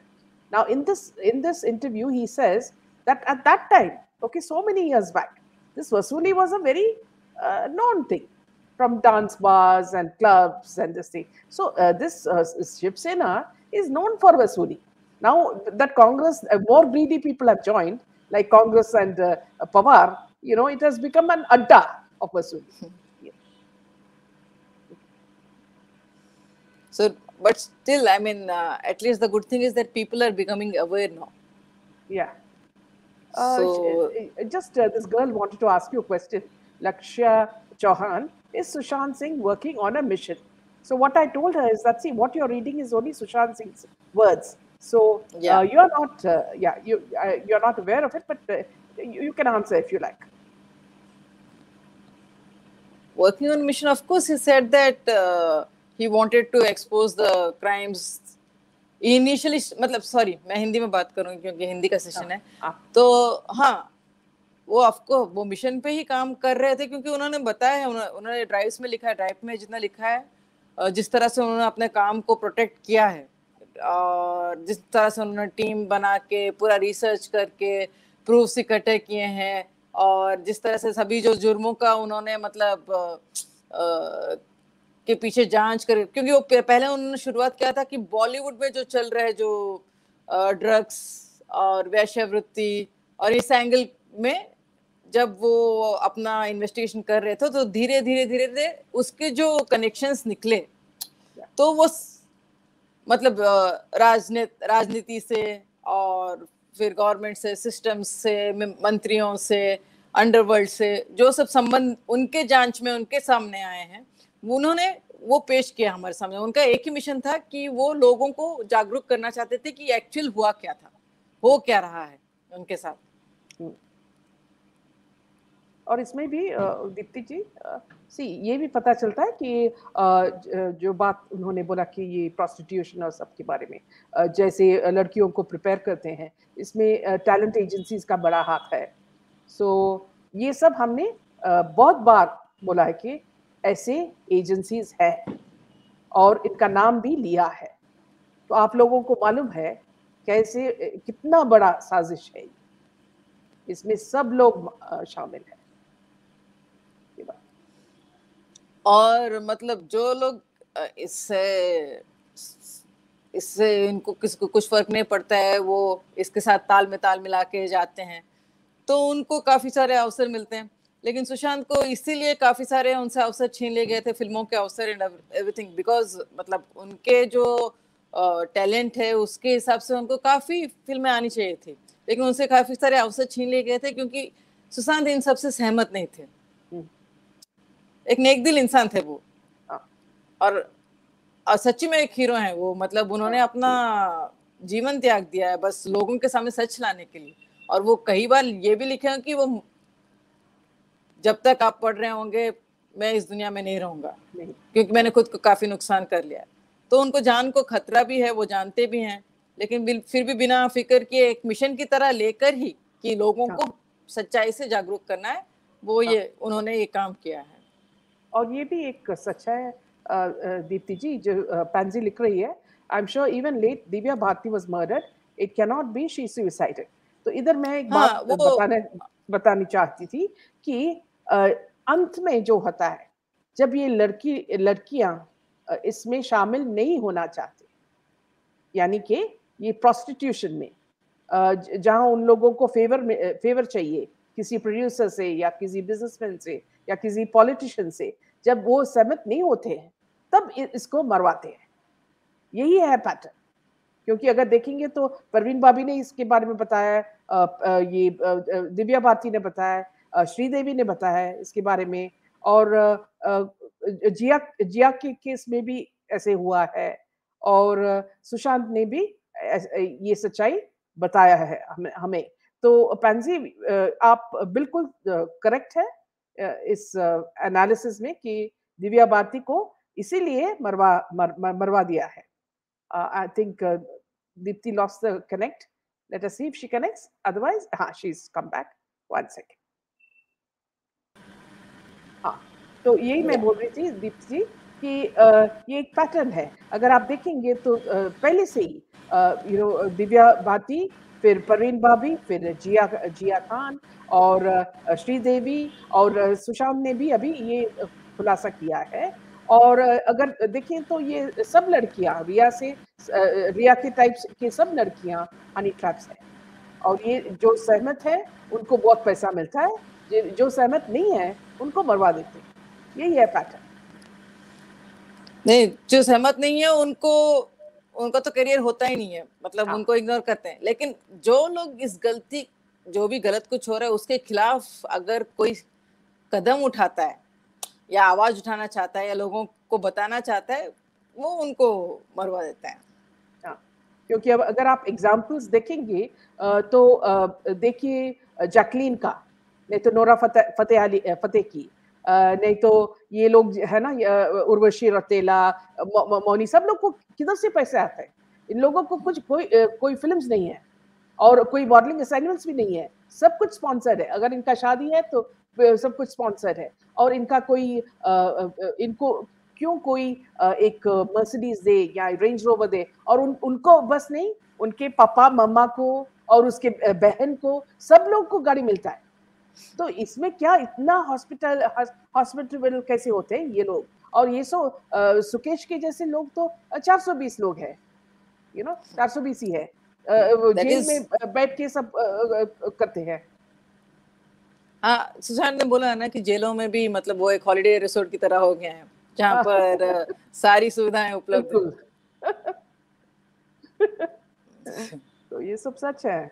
और जो भी अभी आप दोहरा रहे हैं दीप्ति जी, हिंदी में तो इसमें हमारा ये जो कहानी है, बॉलीवुड की कहानी है, बहुत ही क्लियर विथ क्लैरिटी बहुत ही स्वच्छ हो रहा है, क्योंकि इसमें ये होना है, क्या बोलते हैं कि स्वच्छ भारत के जैसे स्वच्छ बॉलीवुड होना है, नहीं तो किसी को वहाँ रहने की ये नहीं होता है क्या बोलता है कि द प्योरिटी यू नो किसी को वहाँ जॉब मिलने से फ़ायदा नहीं होता है मतलब अभी जैसे उन्होंने बोला है टैलेंट का कोई मायने नहीं है बस थोड़ी बहुत गोरी चमड़ी वाइट स्किन और yes. थोड़ा बहुत मतलब और कोई समझौता करने के लिए तैयार हो तो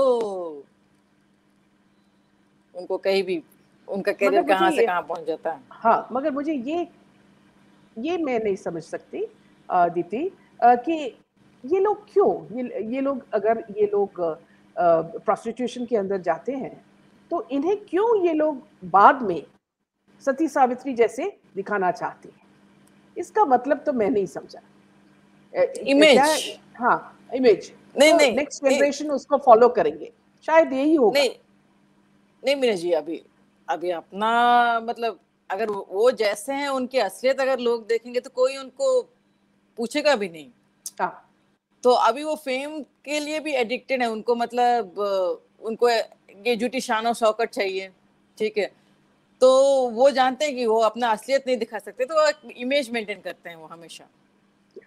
और ये काफ़ी हद तक सक्सेसफुल रहा है। हम अभी सुशांत के हत्या के बाद से हम लोग जान रहे हैं कि क्या क्या है। ये तो इससे पहले भी हाँ इससे पहले हम लोग भी मतलब वो जो इमेज दिखा रहे थे हम लोग भी मतलब धोखा खा रहे थे उसमें विश्वास सच में ऐसा विश्वास करते थे काफ़ी लोग सुशांत के डेथ के बाद जाने लगे मुझे श्रीदेवी जी के डेथ के बाद से पता चल गया जब मैंने इन्वेस्ट हाँ।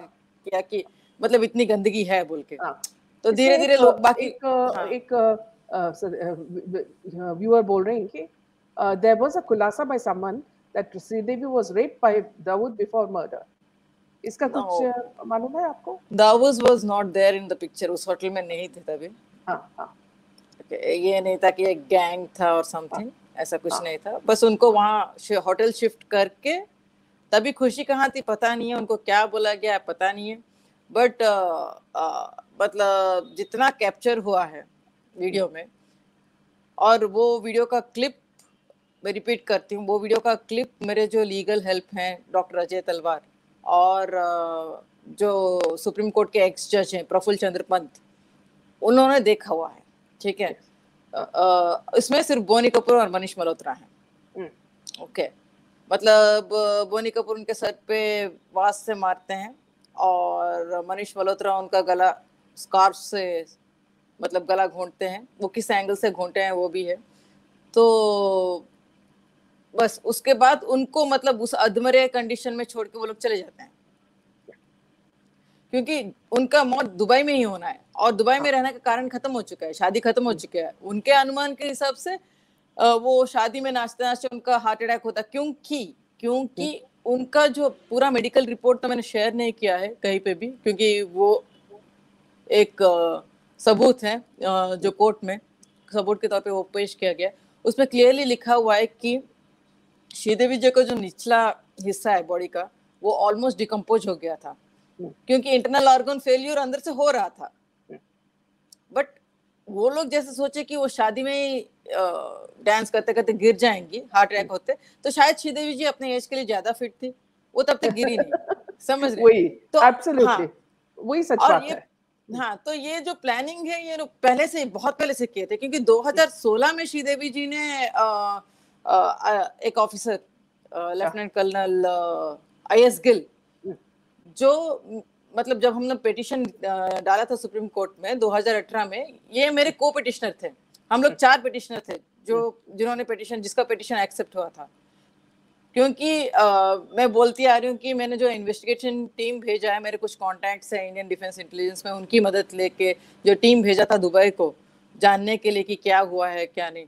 तो 2016 में श्रीदेवी जी ने इस officer, lieutenant colonel I S Gill को कांटेक्ट किया था, ये बताते हुए कि उनके जो पति हैं वो एंटी नेशनल और क्रिमिनल एक्टिविटीज़, इलीगल एक्टिविटीज़ में इन्वॉल्व हैं। तो तभी गिल साहब ने उनको एडवाइस दिया था कि आप एफआईआर डालिए किसी स्टेशन में जाके, उसके बाद से हम लोग, वहाँ से हम लोग टेक ओवर करेंगे। बट कुछ दिनों तक वो चुप चुप रही और कुछ देर बाद आके उन्होंने बोला कि नहीं, उन्होंने बोला है कि वो सुधर जाएँगे, सो मैं उनको एक चांस देना चाहती हूँ। तो और श्रीदेवी जी को कब पता चला बोनी कपूर के एक्टिविटीज़ के मतलब इन सब गैर कानूनी कामों के बारे में? वो 2013 के दिसंबर में बोनी कपूर को आके बोलते हैं कि हमारा घर आग लगने वाला है, ये फ्लोर आग लगने वाला है, सब ऊपर शिफ्ट कर दो। समझ वो न्यूज़ आइटम वो न्यूज़ रोटेट भी हुआ था उनका घर आग लगा था। तो वो वो जानती थी कि वो इंश्योरेंस के लिए जानबूझ के ये स्टेज किया गया एंड ऑल लेकिन वो जो इंश्योरेंस का जो मनी जो आ, आना था इंश्योरेंस का जो मनी आना था उसको आने में दो साल लगे। और 2016 में जब डिमोनेटेशन जब डिक्लेयर किया गया था तभी मोनी कपूर मतलब पूरा हड मतलब क्या बोलते हैं उसको?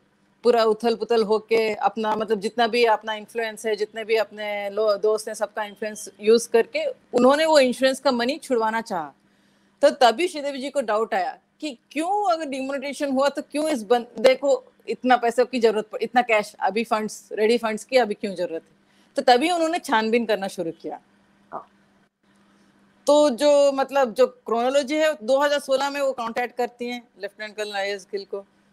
तो फिर उसके बाद वो उनको चांस देने मतलब चांस देंगे बोलते उनको थोड़ा टाइम देंगे बोलते हैं ठीक है।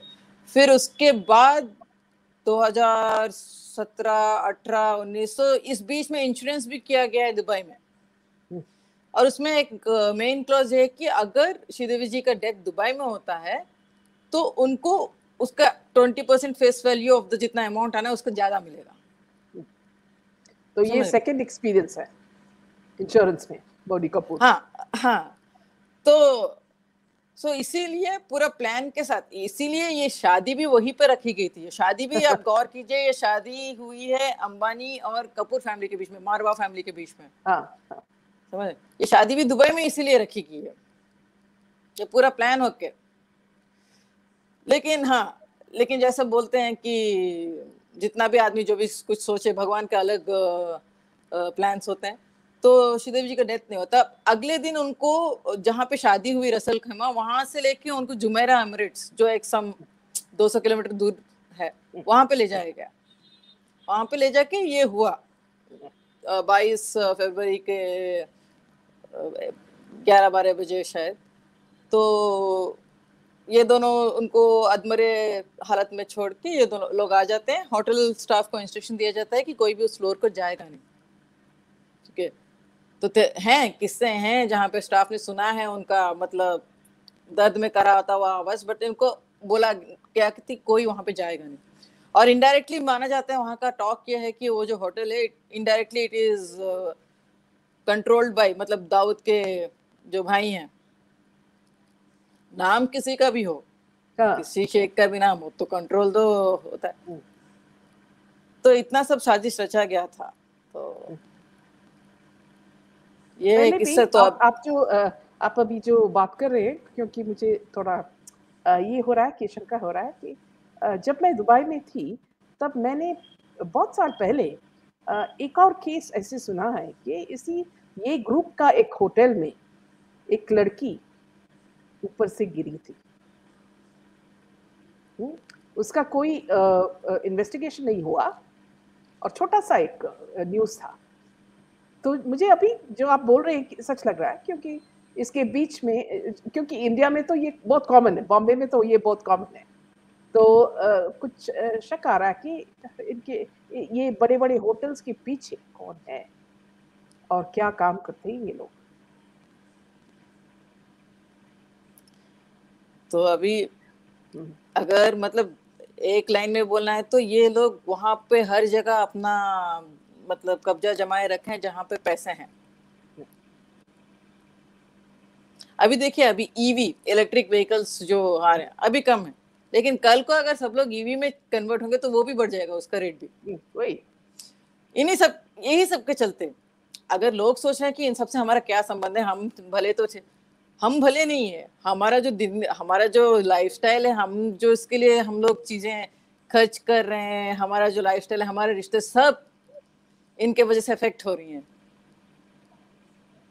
और हम तो हम लोग क्यों क्यों इतना परेशान होते हैं? इसलिए कि अगली जनरेशन और उसके अगले जनरेशन पे ये प्रभाव ना हो। जो भी हो रहा है उस पर उस पर इफ़ेक्ट नहीं होना है क्योंकि वो लोग इनोसेंट है। उन लोगों को मालूम नहीं। हम लोगों ने तो इतना इन्वेस्टिगेशन इसके अंदर किया है कि सुशांत केस तो हमको पहले से टिल द एंड सब कुछ मालूम है। सब अगर सीबीआई को सीबीआई को नहीं मालूम है तो वो एक बड़ा जोक है क्योंकि हम सब लोग ने उसको क्या बोलते हैं कि बिल्कुल पिया है। उसका सब सब डिटेल्स हमें मालूम है। ठीक है तो मान लेते हैं मान लेते हैं हाँ। सीबीआई इतनी काबिल हाँ। नहीं है उसको पता नहीं है। ठीक है अगर कोई इंसान सामने आके उनको बोल रहा है कि बॉस सुशांत के लिखे हुए ड्राइव्स मिले हैं जिसमें क्लियरली बताया गया कि अगर वो मर जाते हैं तो उनकी हत्या के पीछे ये ये लोग शामिल हैं। हाँ। इतने बड़े प्रमाण इतने बड़े सबूत को वो लोग नजरअंदाज करके वो बोल रहे हैं कि वो गूगल यूएस में गूगल और व्हाट्सएप को अप्रोच किए हैं सोशल के सोशल मीडिया इन्फोस को निकालने के लिए। मतलब मज़ाक बना के रख दिया है क्या? हम्म, यहाँ पे जो आके आपको चार बार मतलब दो बार मुंबई में दो बार दिल्ली में आपको जाके ड्राइव्स आपको सौंपने की कोशिश करा ताकि क्योंकि इससे इससे इन्वेस्टिगेशन साफ़ होगा। जो जो जिनका नाम लिया है उन सब पाँचों को रिया शौविक और जो भी बाकी तीनों का नाम लिया है सिद्धार्थ इनको इंट्रोगेशन होना चाहिए था। बट यहाँ पे देखा जा रहा है कि यहाँ पे इरादा नहीं है। हाँ। इरादा नहीं है इस केस को सॉल्व करने का। बाकी सभी केसों की तरह जैसे जिया खान का केस हो या और बाकी सभी एक और एक और बात बतानी है व्यूअर्स को दीप्ति जी कि जानवी कुकरेचा के केस में। मुझे इसका ये नोटिफिकेशन मिल रही है कि ऐसे ही डिले कर रहे एक एक एक्सक्यूज बोल के ये डिले कर रहे कि ये नॉर्मल केस है नहीं तो ये इतना इम्पोर्टेंट नहीं है। ऐसे बोल के बोल के ये लोग ये जो जजेस है वो सब ये पोस्टपोन कर रहे हैं। इसका मतलब हाँ, इसका मतलब ये है मीना जी कि कोई ना कोई पिता के मन में कोई ना कितना ये होगा दुख होगा? नहीं नहीं इसका मतलब ये है कि मतलब मुजरिम ज़रूर कोई ना कोई इन्फ्लुएंशियल व्यक्ति होगा। वही तो इसका मतलब है कि मतलब कोई भी इन्फ्लुएंशियल व्यक्ति हमारे हम पे या हमारे बच्चों पे अगर उनकी बुरी नज़र पड़ती है या जो भी पड़ती है वो जिस तरह से भी आए वो उनके साथ बर्ताव कर सकते हैं। हम लोग को सर झुका के मानना है। अगर हम अभी जागरूक होके एक बदलाव के लिए हम लोग अभी अगर हम लोग लड़ेंगे लड़ेंगे। एक नहीं होते हैं नहीं लड़ते हैं तो आगे जाके हमको हम पूरे का पूरा गुलाम ही बन जाएँगे। अभी तो ऑलमोस्ट गुलाम बन चुके हैं तभी हाँ। वो नकाब निकल जाएगा और पूरे के पूरे गुलाम बन जाएँगे। अगर इस तरह की ज़िंदगी चाहते हैं हम अपने लिए और अपने बच्चों के लिए तो बेशक। हम्म। किसी को असर नहीं होना चाहिए सुशांत के इस काम से। इसमें तो बहुत दुख होता है कि इन, इनके पेरेंट्स पेरेंट्स के ऊपर। आपने देखा दीप्ति जी की जैसे वो मेयर दिशा के दिशा के पेरेंट्स के साथ बैठी थी और उन्होंने, उन्हें ऐसे फोर्स कर रहे थे, ऐसे बात करने की।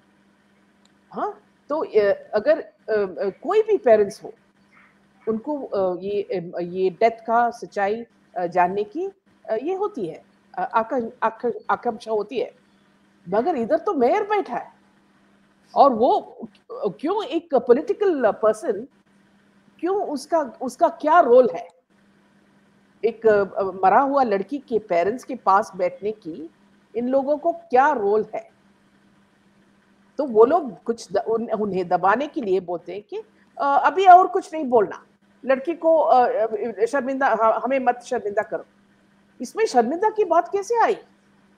ये तो एक रेप है इनजस्टिस है एक लड़की के ऊपर। तो शर्मिंदा तो उन लोगों को होना है ना? लड़की का कोई कोई मिस्टेक नहीं थी। तो ये तो पेरेंट्स समझनी चाहिए। और पेरेंट्स ऐसे बात करेंगे तो हम हम लोगों का क्या? हम कब से लड़ रहे हैं इसके लिए?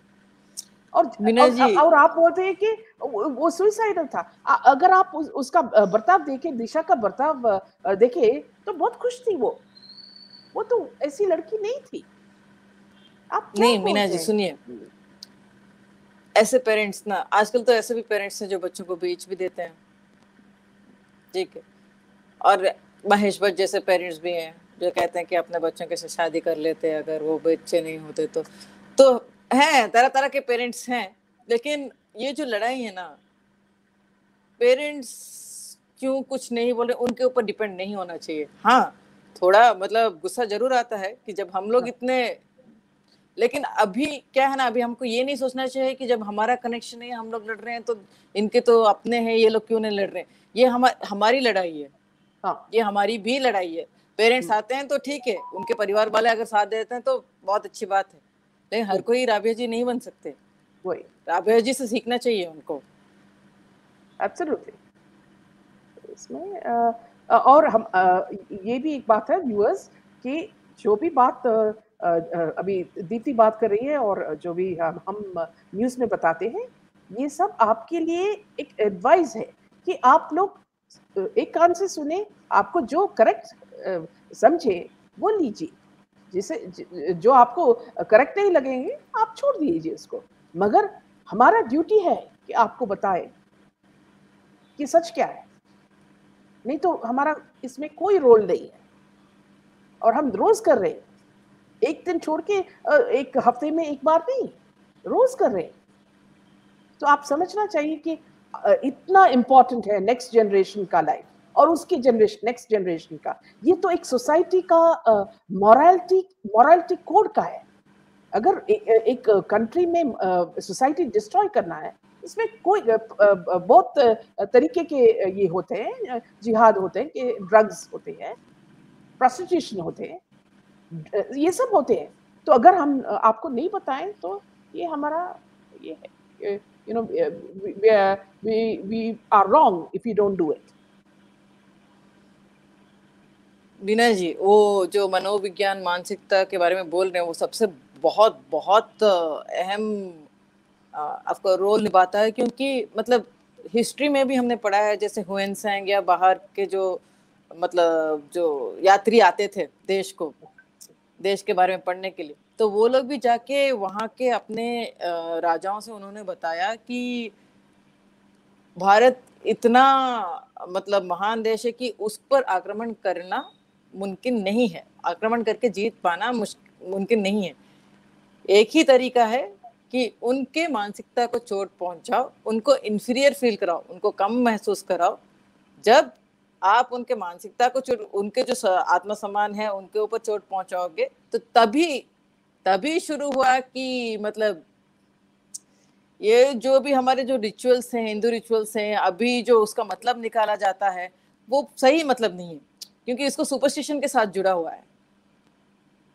अभी like, एक और बात मैं बताना चाहती हूँ दीप्ति जी कि एयर इंडिया एयर इंडिया में ने टाटा ने एक जिहादी आदमी को टर्किश आदमी को सीईओ e या सबसे बड़ा पोजीशन लिया था।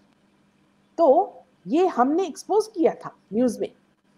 अभी चित्रा एक हमारा सब्सक्राइबर ने बोला है कि वो अभी उसको कैंसिल किया।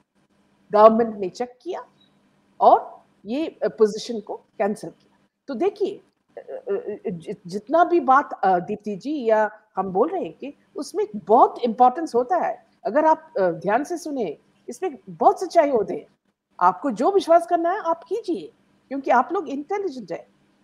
और जो भी अभी दीप्ति बोल रही है वो सब रिसर्च करके बोल रही है। ऐसी कुछ ये ये तो क्या ट्रिवियल ट्रिवियल टॉक नहीं है? और जिनका नाम लिया जा रहा है वो लोग छोटे लोग भी नहीं है कि उनके हम्म। बारे में कुछ भी बोल दें और वो लोग चुप बैठे रहें। और यहाँ पे हम लोग एक साल से बात कर रहे हैं। तो बात ये नहीं है बात हम लोग ये नहीं कह रहे हैं किसी के खिलाफ तो नहीं है किससे दुश्मनी नहीं है। बात यही है कि जो भी चल रहा है वो सही नहीं चल रहा है। अगर ऐसा ही चलता रहा तो आगे आप जाके देख लीजिए। सामने आप देख रहे हैं ऑलमोस्ट यूक्रेन रशिया युद्ध उससे पहले कोविड क्या सब चल रहा है आजकल? एक और बार एक और बात मैं बताना चाहती थी दीप्ति की कि हमने एक न्यूज़ न्यूज़ आइटम किया था ये एन e के बारे में। तो जिसमें ये स्टॉक स्टॉक मार्केट का घोटाला स्कैम हो रहा था और चित्रा इस, उसमें इन्वॉल्व थे चित्रा रामकृष्ण।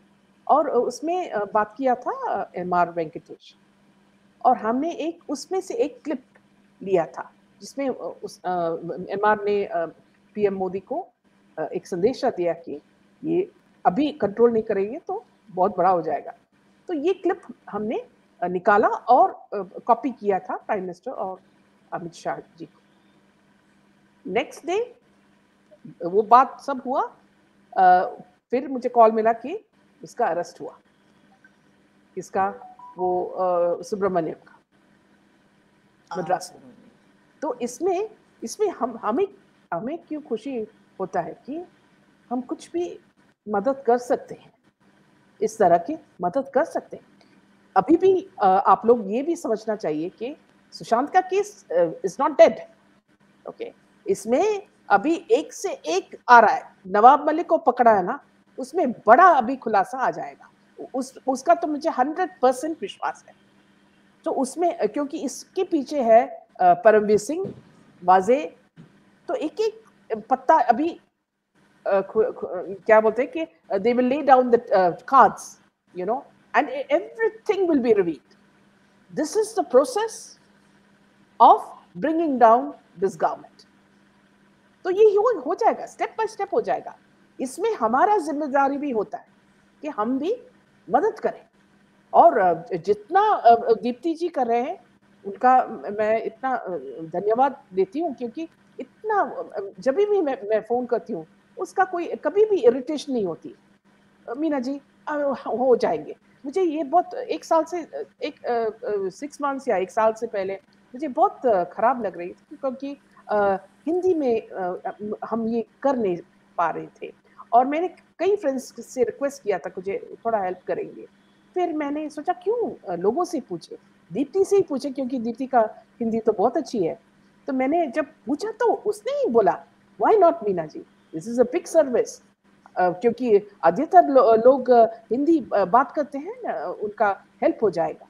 तो this is with her you know cooperation you know despite her being busy you know that we are able to do it please don't think this is a pastime for us it is not a pastime we are going towards the truth and this in this in this journey people like dipti you know rabia khan you know janvi's mother all these lawyers who are helping us they are all with us you know and people are scared अभी भी अगर आप देखेंगे hundred and forty eight या फिर hundred fifty people देख रहे हैं मगर ये सच नहीं है क्योंकि इसमें भी दबाव आ रहा है।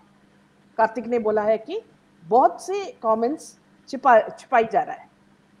तो ये लोग सब दबाएँगे मगर इसका मतलब नहीं कि हम बात नहीं कर सकते। ये तो एक डेमोक्रेसी है। जो भी बोलना है हम बोल सकते हैं। हम तो किसी को आ, कुछ कर नहीं रहे। हम तो सिर्फ़ सच बता रहे और इसके पीछे जो भी इंस्टीट्यूशंस है जो भी गवर्नमेंट है उनका काम करना करना चाहिए। ये उनका ड्यूटी है। सीबीआई हाथ में हाथ रख के नहीं बैठ सकते कि आ, हो गया अभी कुछ नहीं है आ, चलो गुड बाय ऐसे नहीं हो सकता। राइट दीप्ति जी? अब तक हो रहा था क्योंकि लोग जागरूक नहीं थे। तो अभी जितना आपका या मेरा रोल अभी ये मतलब बैठ के ऑडियंस की तरह देखने का टाइम नहीं है। आप अगर जान रहे हैं, जो भी देख रहे हैं दर्शकों से मैं बस यही कहना चाहूँगी कि खुद को मज़बूत कीजिए। ये जो बदलाव है, इसमें आप लोगों की भी बहुत ज़रूरत है। हम लोग सच आपको दिखा रहे हैं। अब इस सच को कैसे बदलना है, वो चेंज कैसे लाना है ये सिर्फ़ एक या दो का काम नहीं है ना ही प्रशासन का काम है ना किसी एजेंसी का काम है ना मीना जी का काम है ना किसी भी आ, मतलब मीडिया मेन स्ट्रीम मीडिया का काम किसी का नहीं। ये हम सबका काम है। ये हम सबका काम है। अगर आप ये सब जानने के बावजूद भी अगर आप बैठे रहते हैं कि हम क्या कर सकते हैं सिस्टम ही ऐसा है प्रशासन है तो हम लोग ही सिस्टम है। हम लोग ऐसे होने देते हैं बोल के ऊपर की चीज़ें सड़ गई हैं। तो हम लोग ही सिस्टम है तो हमारा लाइफ है, हमारा प्लेनेट है, हमारा पृथ्वी है, हमारे बच्चे हैं, हमारी ज़िम्मेदारी है।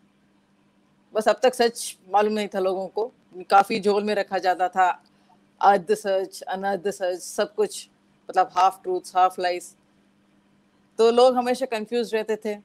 उनको डिवाइडेड रखा जाता था। मतलब जो चीज़ें मायने नहीं रखती हैं उन चीज़ों के बीच उनको मतलब लड़ाई लड़वा के लेकिन एक्चुअल जो सही में जो मुद्दे हैं वो ये हैं कि यही चलता। वोहरा कमेटी रिपोर्ट जो उन्होंने 1993 में फ़ाइल किया था उसमें इस जो नेक्सस के बारे में क्लियरली मेंशन किया गया है। हाँ।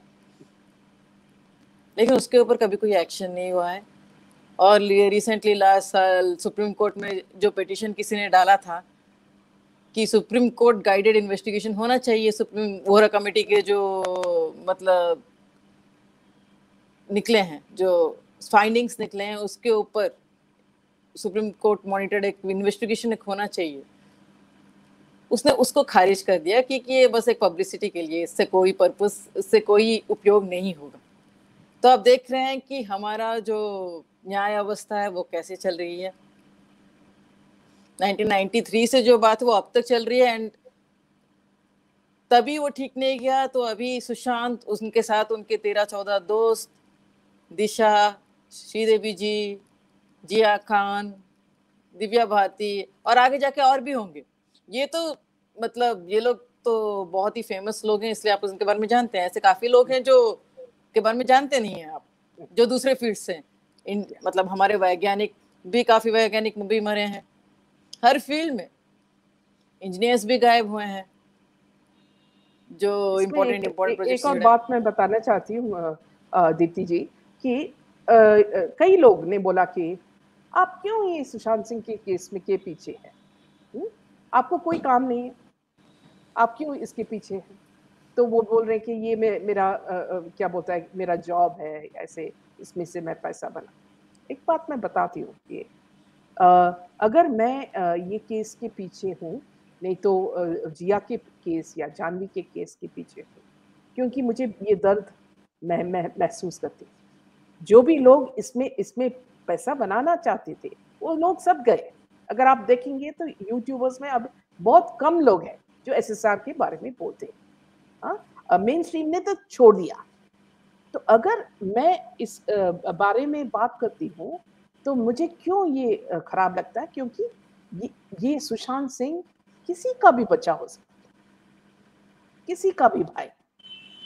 हा? और उसको जो हुआ है वो किसी को भी हो सकता है।